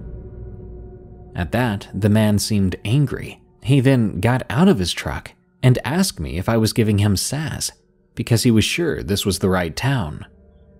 I was always a pretty shy kid, so this was a huge red flag for me. I ran home crying, and my mother asked me what happened. I told her, and she called the police, but of course, they could do nothing, nor did they really care about some strange man yelling at me. Unfortunately, this would not be the last time I saw him. The next encounter is when I was walking with my friends to go get some ice cream from our local candy shop. We were walking together when that same white van pulled up. But this time it did have license plates, so at first I didn't think it would be the same man driving it. Until, that is, he stepped out asking us if we wanted some candy. My friend, David, who had always been a smart aleck, said, There's a candy shop right up the road, so we're good. At this, the man, like before, got angry and he began to yell at us. But this time, he demanded that we get into his van. When we didn't comply with this order, he chased us and we ran away. I never understood why, but he never got back into his van to chase us with it. He always ran after us on foot. The three of us split up and ran into the woods. The road we were on, there was woods on either side of us. He singled me out because he must have recognized me from before. I decided I'm done with this and began running towards my home. From there, it would be a two minute run. He kept on chasing me all the way up to my house, and when I got to my house, my mom and dad were home, thankfully. I ran in hysterical, and my mother asked what happened. I told her it was the same man, and I explained what happened this time. My father ran outside and confronted the man. My father is six foot five with a bulky build, and he was muscular back then, not someone you wanted to mess with, not to mention he had a military background. The man immediately tried to run away upon seeing my dad, but my dad easily caught up with him, threw him down on the ground, and held him until the police came. They arrested the man, and, as it turns out, the guy was wanted for murder, kidnapping, and other things of a little girl. He was convicted, and I never saw him again. I'm so glad that he didn't catch me or any of my friends, or we could have been his next victim. I still get anxiety attacks from strangers approaching too fast or someone moving too suddenly towards me. Just from the thought of what could have happened, I never learned his name, and I will never care to. To be honest, I just want to put this behind me. The paranormal and unexplained happenings in my life. From hmm, okay. These are several things that I've witnessed in my earlier years of life, and to the extent of my knowledge are unexplained phenomena. I grew up in a decent neighborhood, and I was about seven when this occurred. My house was a one story, four bedroom, two bathroom house. The backyard had a short but long chain link fence surrounding it. The place also had a basement. The basement is the center of this part of the story. It had an old flight of stairs leading down into it. That basement always felt off to me, but you could attribute that to a kid's imagination. It always smelled musky, and the floor was concrete. Old wooden beams rose from the ground and ran across the underside of the floor. The light was just a bulb hanging from a wire. It had three rooms as well. The first was the largest, it housed the washer and dryer, and a bunch of boxes and the likes.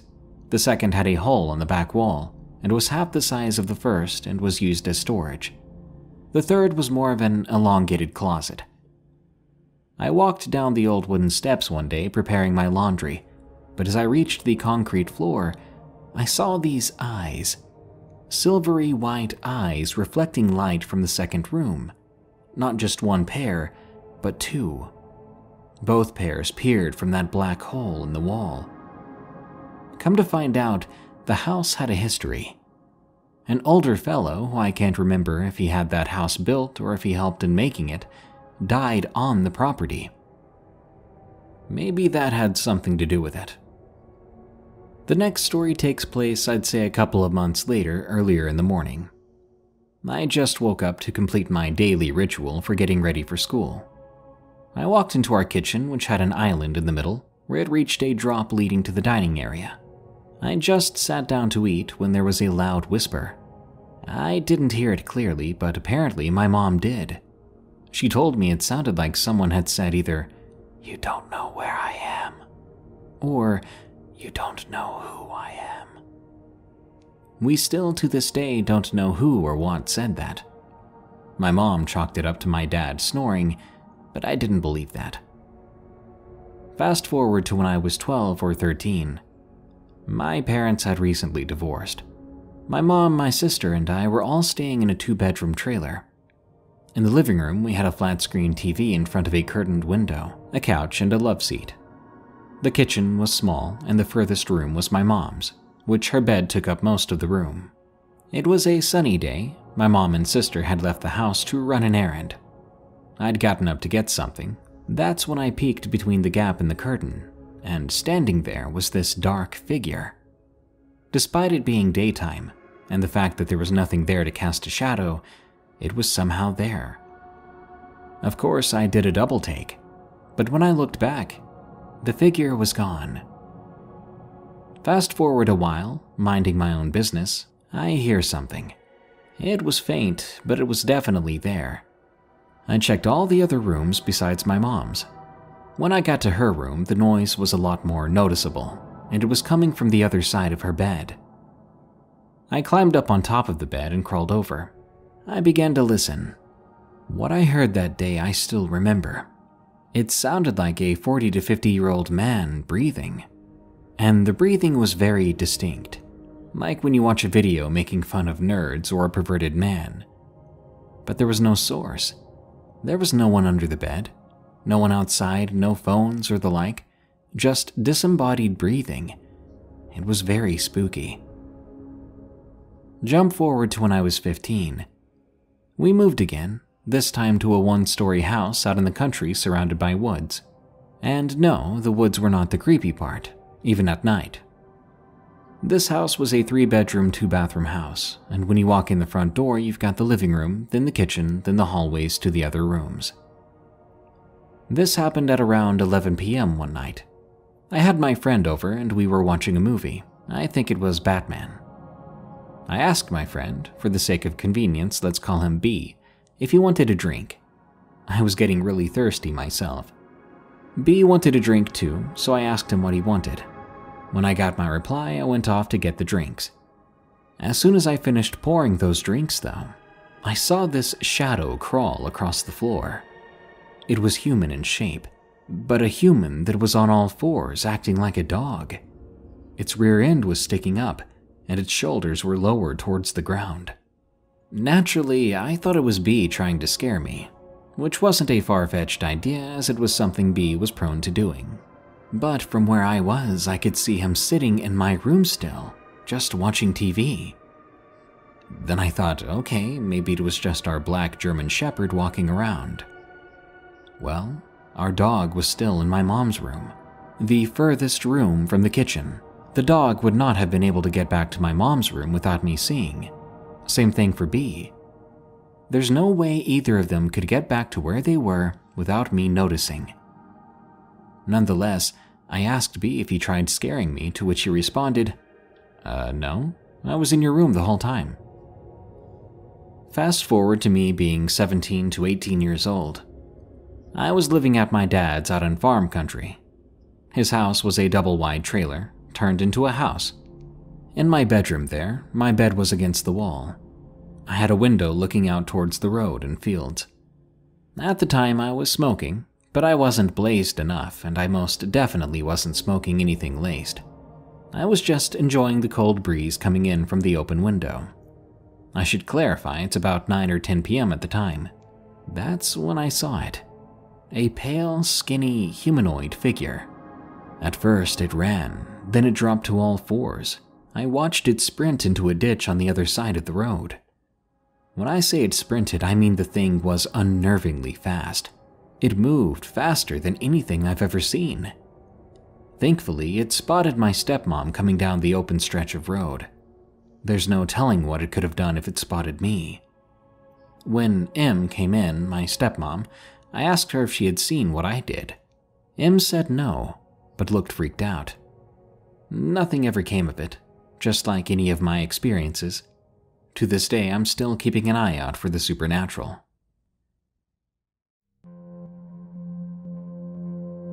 My great grandmother's 18th century horror story.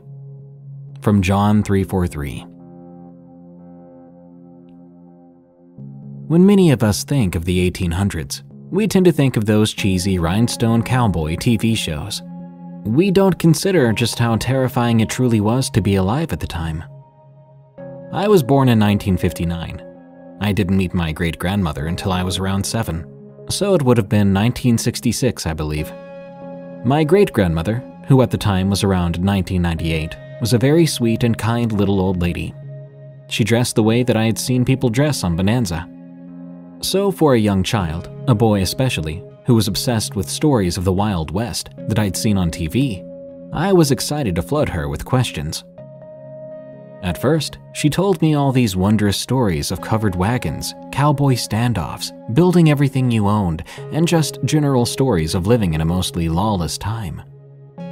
At the time, it was the middle of summer, and my mother had told me to take my dog out to the backyard so he could use the facilities and we could get settled in for the night. Within a few seconds of my mother saying this, my great grandmother jumped to her feet from her chair and screamed, No, don't let him go out there. My grandmother walked over to my great grandmother, putting a hand on her shoulder and whispering something in her ear to settle her down. This was kind of alarming to me, because I didn't really know this woman too well. But being a silly kid, I wrote it off and took Rowdy out to the backyard. When I got back in and locked up, the mood had completely changed. Even though I was going to be allowed to stay up later than normal, my mom told me to take Rowdy and go to bed with him. I questioned her and asked what was going on. I could clearly see my great grandmother was very disturbed in the other room. My mother said, Jacob, just go to bed. I was not familiar with her carrying that tone towards me. I laid down after putting my pajamas on and just stared at the ceiling, not really being able to sleep. I headed downstairs to grab a glass of milk, trying to slip a few of the sweets my mother, aunts, and grandmother had made. That's when I saw my great grandmother sitting there staring out the back window. I asked her, Grandma Caroline, is everything okay? She turned around and looked at me, saying, Do you want to know why I didn't want you to go outside? I answered, Yes, please. Believing I was about to hear another Wild West story, I grabbed my sweets cautiously, not knowing what she would say, and sat down for a story. She said, The reason I didn't want you to go outside is because I didn't want him to get you. I've seen it twice since I've been here, and I won't let it happen again. What are you talking about, Grandma Caroline? The black haint in the woods. Uh, what's a haint? Honestly, it can mean a lot of things, but at its core, it means something evil.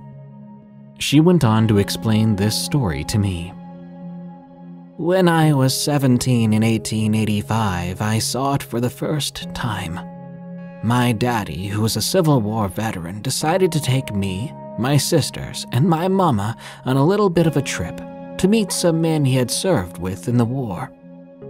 We would have to set up a camp a couple of times along the way, but we didn't care because we were too caught up in the excitement of the whole thing. It was in the middle of summer, so we let Mama and Daddy have the tent. Me and my sister slept on blankets and looked up at the stars, just dreaming. On the second night, whenever we were settling in for camp, a family of travelers on their way through the area stopped by, asking if they could share the area for their camp. My daddy was a really good judge of character, and he didn't sense anything wrong. So he said yes, just keep to your own. They made their camp quickly and were asleep almost as fast. I woke up late in the night to see the youngest boy of the group walking towards the woods. At first, I couldn't tell what he was walking towards, but I knew he didn't need to be up and about I quickly lit a small lantern to run after him and see what was going on. Almost afraid I was going to catch him peeing out by the wood line. And that's when I seen it. A tall, dark man with a long trench coat and big hat, like the men that we would see coming through town from time to time, looking to pick a fight or start some trouble. At first, I thought it was a real man and told him to mind his own then he looked at me, and that's when I knew this was something evil. His eyes were bright white, and when he smiled, his mouth protruded a bright steam that shouldn't have been coming out of his mouth in the middle of a summer. Before I could even react, he had grabbed the boy, and he was gone. I fainted there. I came to the next morning during a search to find the boy. He was gone and no one ever found him. I told my daddy about everything that happened. He told me to forget about it, that we were going home right away. I couldn't make sense of anything that happened. After we got home very late the next night, my daddy told us all straight to bed. I tried to lay there and sleep, but couldn't get it off my mind. Then I heard something rustling in the woods I looked out my window, and I seen it again. That coal black son of a gun with those white eyes looking directly at me. I rubbed my eyes several times to try to make sure I was awake, and he was still there. I then ran to my mama and daddy's room to get my daddy, and he was gone. But then I noticed the front door was open. I walked to the open door and seen my daddy sitting on the porch with a mouthful of tobacco and a shotgun in his hand. He said to me, I know what you're seeing, and I've seen it too. It followed me home after the war. I don't know what the heck it is. It's been here for years, baby girl. Go inside. Don't worry about it. I told him I couldn't do that. I decided to sit there next to him. This godless thing stared at us all night before eventually turning and walking back into the woods before the sun broke. We would sit and watch it, just me and Daddy, almost every night for months, when all of a sudden, he just stopped appearing. Not long after, I met your great granddaddy, got married, and moved away. I didn't see the man again till the night that your great great granddaddy died. He was lying on his deathbed at his and Mama's house. I looked out the window, and just as sure as I was standing there, he was there again. After Daddy died, I didn't see the man again until the night that we pulled up in your driveway. I saw him standing in the bushes beside your house. I don't know what he is, Jacob, and I don't know what he wants. So just make sure you stay in the house after dark and keep that darn dog in the house too. Needless to say, as of this point, I was far too afraid to go back to sleep. So I just held Rowdy as tight as I could and lay there. The next morning, on little to no sleep, I walked down the stairs to find great Grandma Caroline and everybody else laughing and joking as if nothing had ever happened.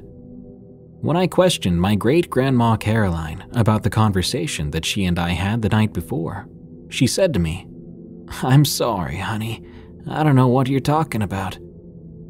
But then, a few moments later, she looked at me with a very distinct look and gave me a wink. The rest of Grandma Caroline's visit was uneventful. She left two days later, and although she would live to be 102 years old, that was the first and only time I would ever see her.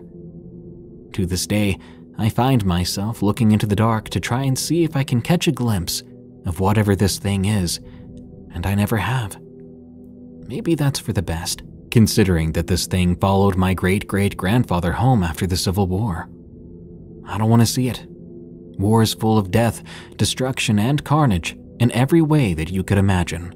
So I think it kind of goes without saying that war leaves a stain on those who are around it. The Civil War was truly a dark time in American history, and we tend to not want to talk about it too often. We forget the sheer brutality that was fueling this war Although great grandma Caroline died peacefully in her home, my Aunt Whitney said her last words were, I see him standing there. It hunted on fall nights. From J.B. This is a story from when I was a child. Considering that fall is in full swing, it crossed my mind again. Back in my childhood town, when seasons changed from summer to fall, it was a big deal. Where I happened to live was almost always a toasty 100 degrees all the time, so when it finally dropped below 80 in about mid October, it felt like a miracle. Everyone would be outside more because they didn't have to worry about the seething heat, and people were just happier. I would always love to go out with friends and play until dinner, at least until it showed up. This all started when I was about 11 years old. One or two neighborhood dogs would go missing here and there, but this would all subside by winter. It seemed to only like coming out in the fall, and everyone began to catch on. Everyone knew about this thing, but nobody talked about it. My cat, one of the first victims, even got into a fight with it at one point, and he barely escaped with his life. He was lucky. By the time I was 15, people wouldn't even leave their kids unattended when autumn rolled around out of fear of that thing. It was a thing of legend as far as I was concerned, too elusive for our paths to cross. At least until one day. I was driving home one night after a long shift at work. I was around 16 and a half, and I had just gotten my driver's license. I was pulling into my neighborhood like I'd done many times before. I thought I saw something behind me, so I checked my mirrors. When I looked back, something big darted in front of my car. I slammed on the brakes, but it was too late. It flew back a few feet, but immediately got up and kept running.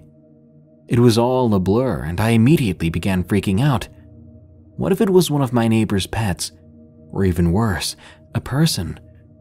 I decided that I needed to make this right. I had to be sure. So I made the choice to try to follow it to see if it was injured. I couldn't live with myself thinking I just severely injured something and may have even led to its death.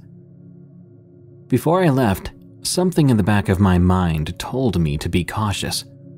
I reached into the glove compartment, grabbing a sharp glass breaker.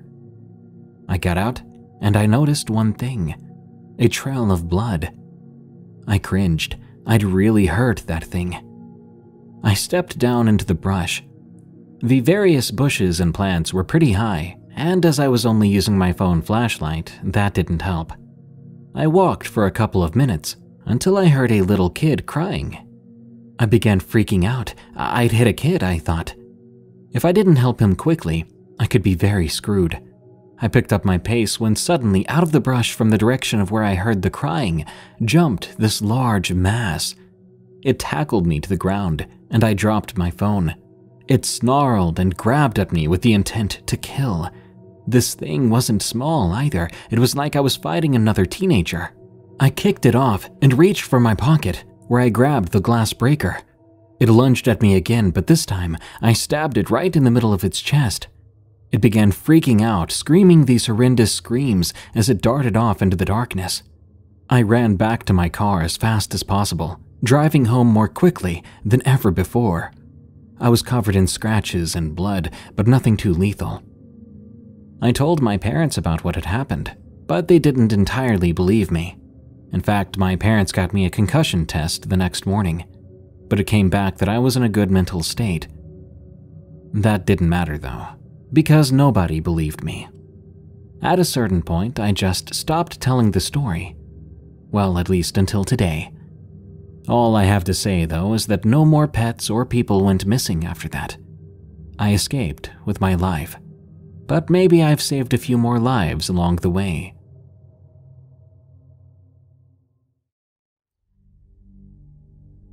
A cryptid crossed my path near Mount Adams from Chewok, 79.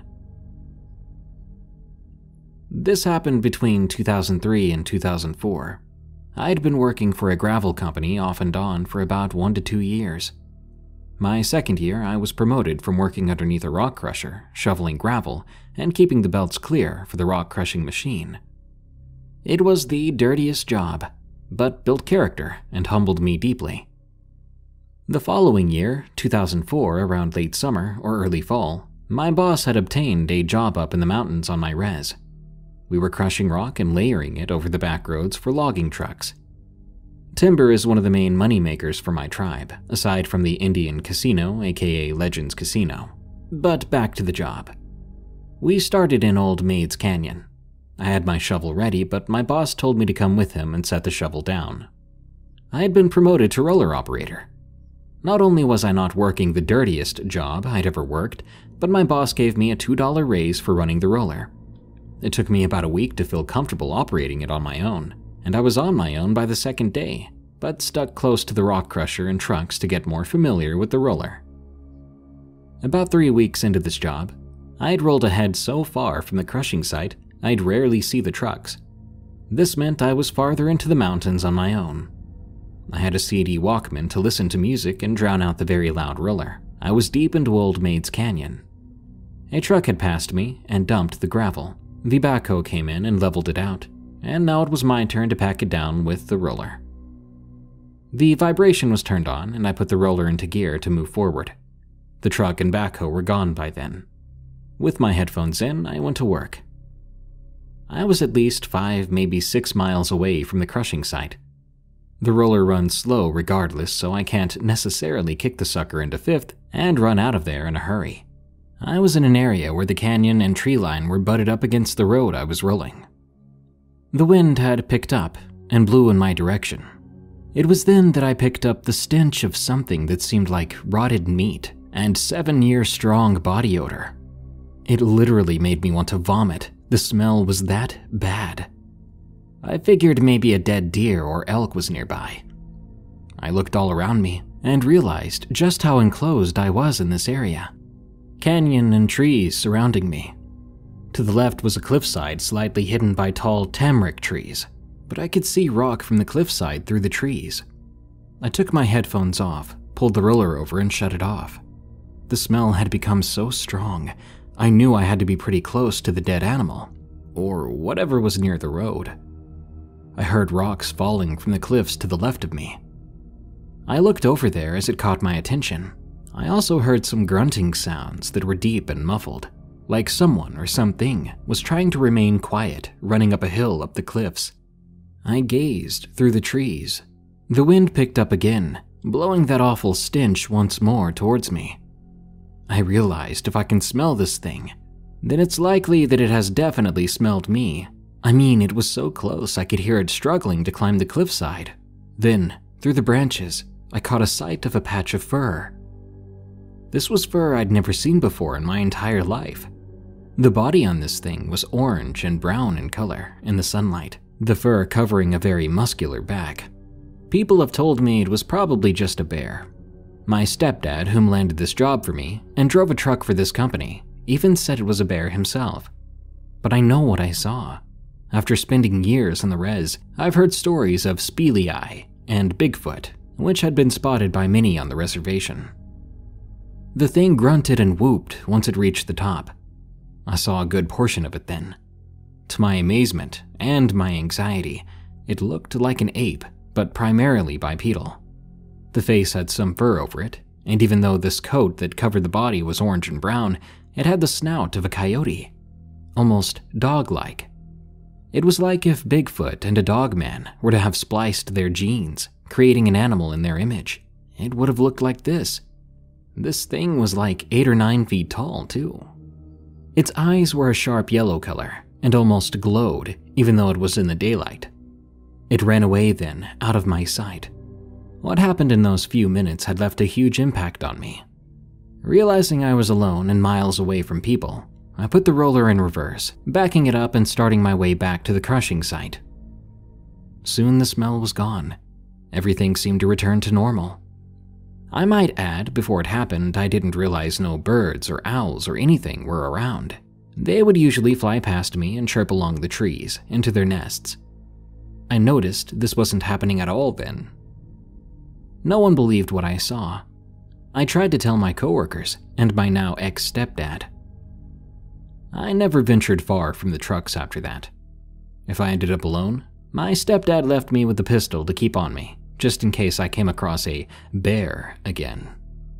I think the reason people didn't want to believe me was because they didn't want to fear anything while working so far and deep in the mountains, near Mount Adams. I believe I saw a trickster, or Speleai, and it scared me to the point that I couldn't wait for this job in the mountains to be done. Once we laid gravel on all the logging roads, I never returned to the job. My mom and stepdad ended up divorcing not long after. I was 24 at the time. The only person who believed me was my mom. Her brother, my uncle, had seen a Sasquatch while he was young. My uncle, creator bless his soul, had died tragically in a car accident when I was nine. I never got to hear his story, but he did see Bigfoot. Our mountains have creatures residing in them. Bigfoot, Speleai, UFO sightings. I never thought I'd come across something like this in my lifetime. This is one of the experiences that has happened to me. I believe Speleai had spared me that day. Instead of messing with me, it scurried away and grunted once at the top of the cliffs as if to say, You're lucky I'm letting you go, before disappearing over the top of the cliffside. These areas of the entire world exist. Creatures reside in them, and we can't even begin to comprehend them. But as a Native American myself, I believe coexisting with things, even if we don't completely understand them, is a part of life. Then again, had it turned out that Spelii wanted to stick around and not spare me, I wouldn't be here right now to share this story. Thanks for listening. The Glowing Eyes from Nina Bug, 1998.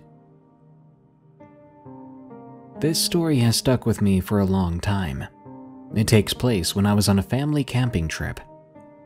I don't remember where we were exactly. It was some spot Sarah, my mother, heard about from a friend. It wasn't a place we'd been before, but the friend, Ginny, told Sarah about it and offered us their RV to go spend a few nights there to see if we liked it. Now, something you need to know about Ginny. She was weird. Like, sits there petting a crow while sitting on the couch and having a beer while talking to people. And I'm talking about an actual crow that was mounted.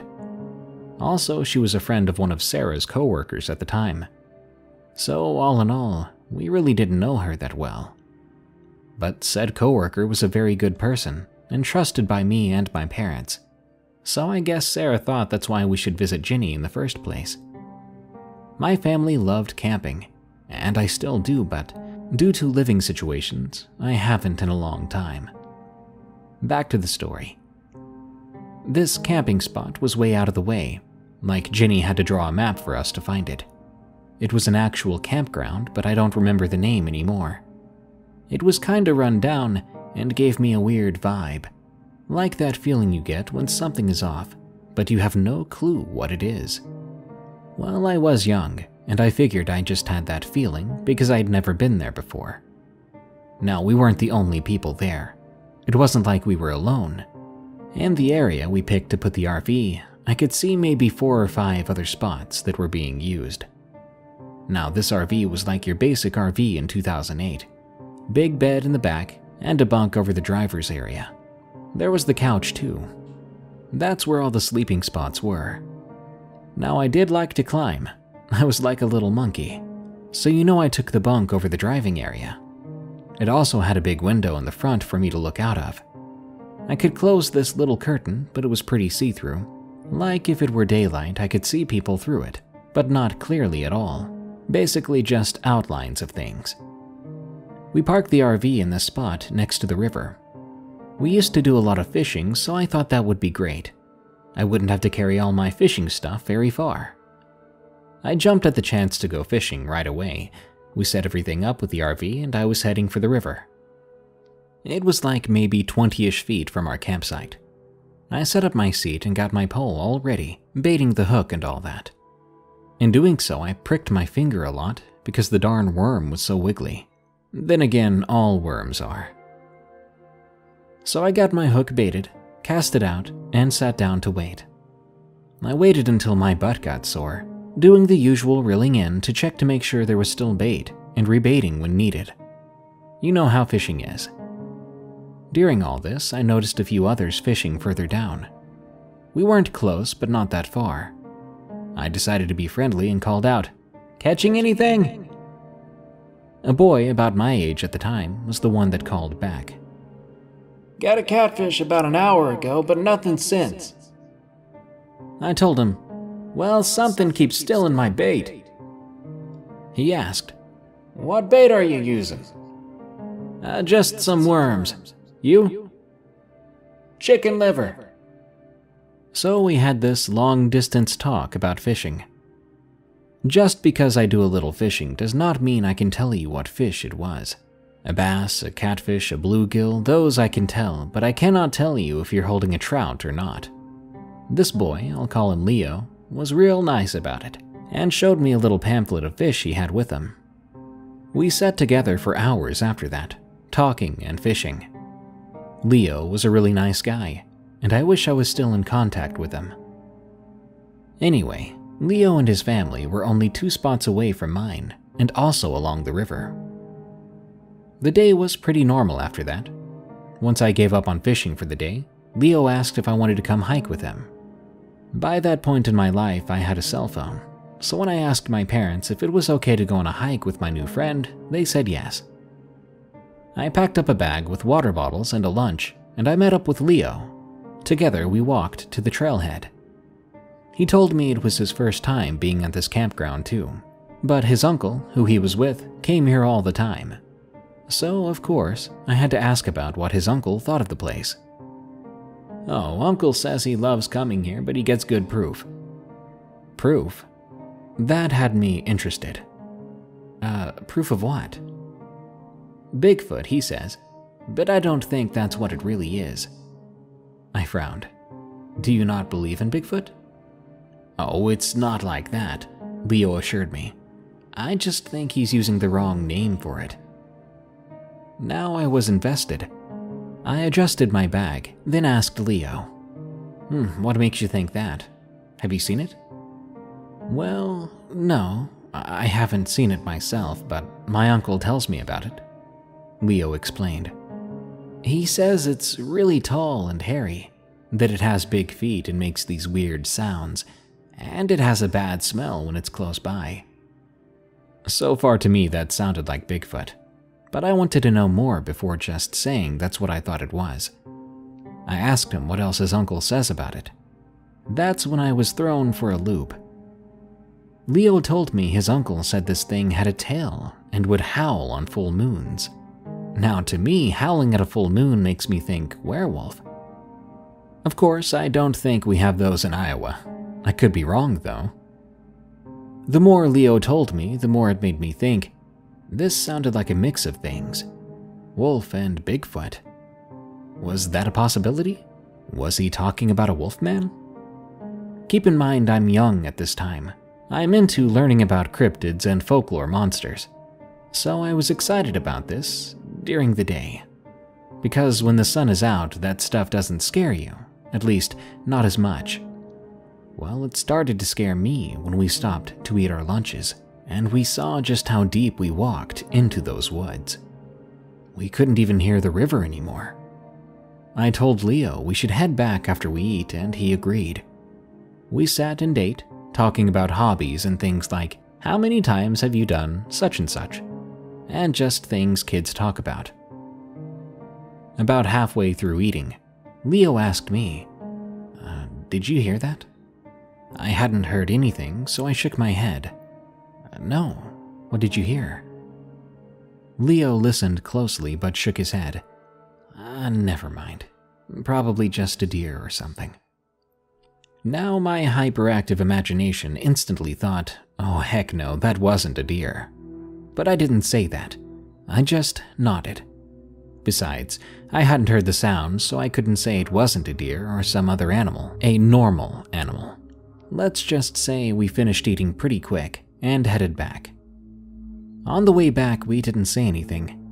I think both of us were trying to see if we could hear something.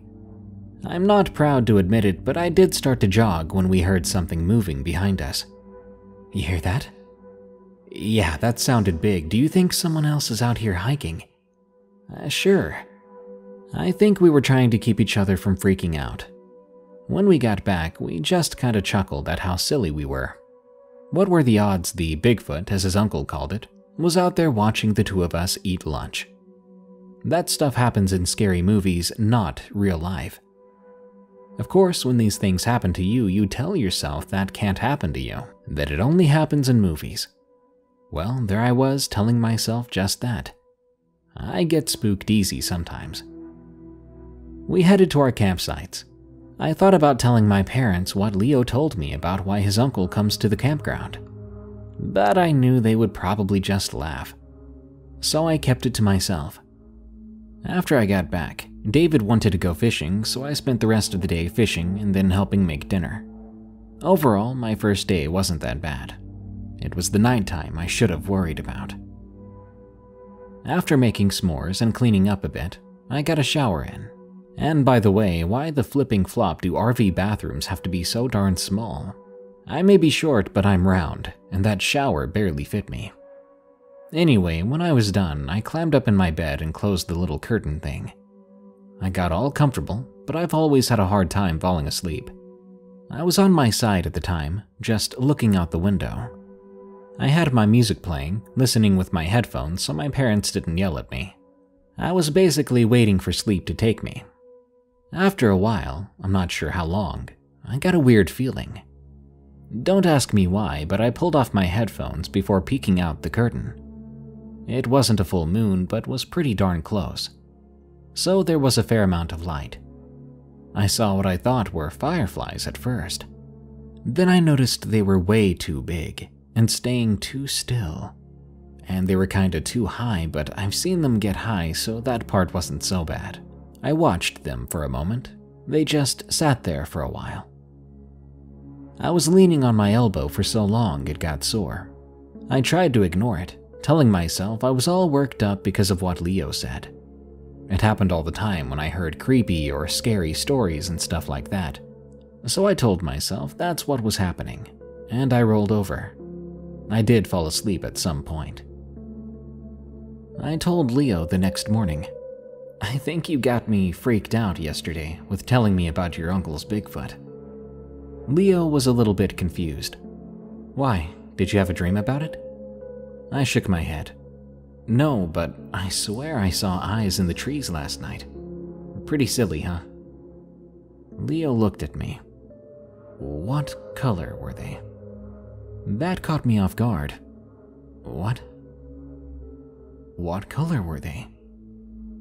I just shrugged.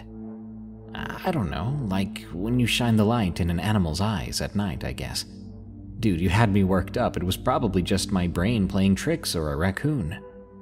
I think I was trying to make myself feel better at this point. Leo replied, Don't go out at night and stay close to your campsite. Well, that both confused and scared me. What? Why? My uncle says so. He says if you see the eyes, you should not go out at night. I was even more freaked out. I didn't know what to do. I just told Leo he shouldn't scare me because I'd be freaked out for weeks because of it. Then he said, Then let's talk about something else. I was more than happy to change the subject. We began talking about things like our pets and we went to fish. Well, he fished and I sat with him and talked. I spent most of the day with Leo when I was there, but at night I was a wreck. I would check out from the curtain at night, seeing eyes in the trees. Finally, I told Leo to come with me and went to check where I would see the eyes at night. We walked into the weeds and trees. At first, we saw nothing, but then we saw where the grass and weeds had been stomped down like someone was standing there. And there were deep scratch marks on the tree, like when you put your hand against something when you lean on it. I mean, why would something just claw a tree like that for seemingly no reason? I looked at Leo. What's this? I pointed at those scratches. Leo shook his head. I got uneasy and decided to get back to my campsite. We spent the day in camp. We didn't even go to the river. I don't know why. I just felt like I should be close to the RV in case I had to run. I'm not a fast runner, and I sprint, not run. That last day there was just spent shifting around and glancing at the trees while trying to talk about something else. My family left the next day, but that last night will stick with me forever. I checked for the eyes again that night, which I had started doing every night for the past few nights. This time I didn't see any eyes. Was it gone? I'd seen them every night until then. So I thought I was safe. I went to close the curtain, but I saw something out of the corner of my eye. Keep in mind, I was already jumpy. I looked and saw something huge near the river. It was covered in what appeared to be fur, and I saw a tail. I got real scared then. So, as any smart child would do, I closed the curtain and pulled the blanket over my head. I didn't sleep at all that night. I heard something outside a few times, but I stayed under the blanket. I was too scared to look. What if it saw me? What would it do? What even was it? When I got out of bed the next morning, I didn't even get dressed.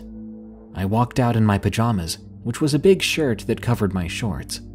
I looked around and saw prints. These prints looked like a mix of people's feet and a paw I knew then it was not my imagination that night. We packed up our camp and I told Leo goodbye. We never went back.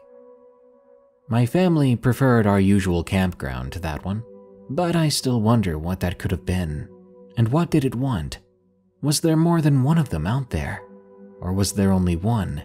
Maybe it was a family unit. It didn't do damage to anything physically, except that tree, of course.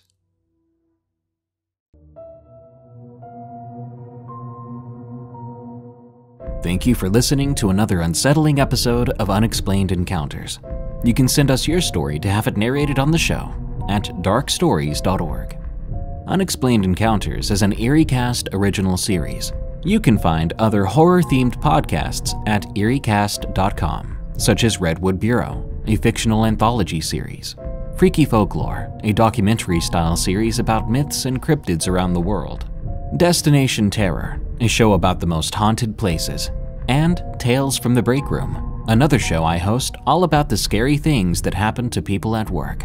Again, that's eeriecast.com. By the way, if you want fewer annoying ads and you want to support what we do, consider going to eeriecast.com slash plus to sign up for EerieCast Plus. That unlocks all our podcasts with all but host read ads removed. Until next time, stay safe out there and stay creepy, because this world is a strange one.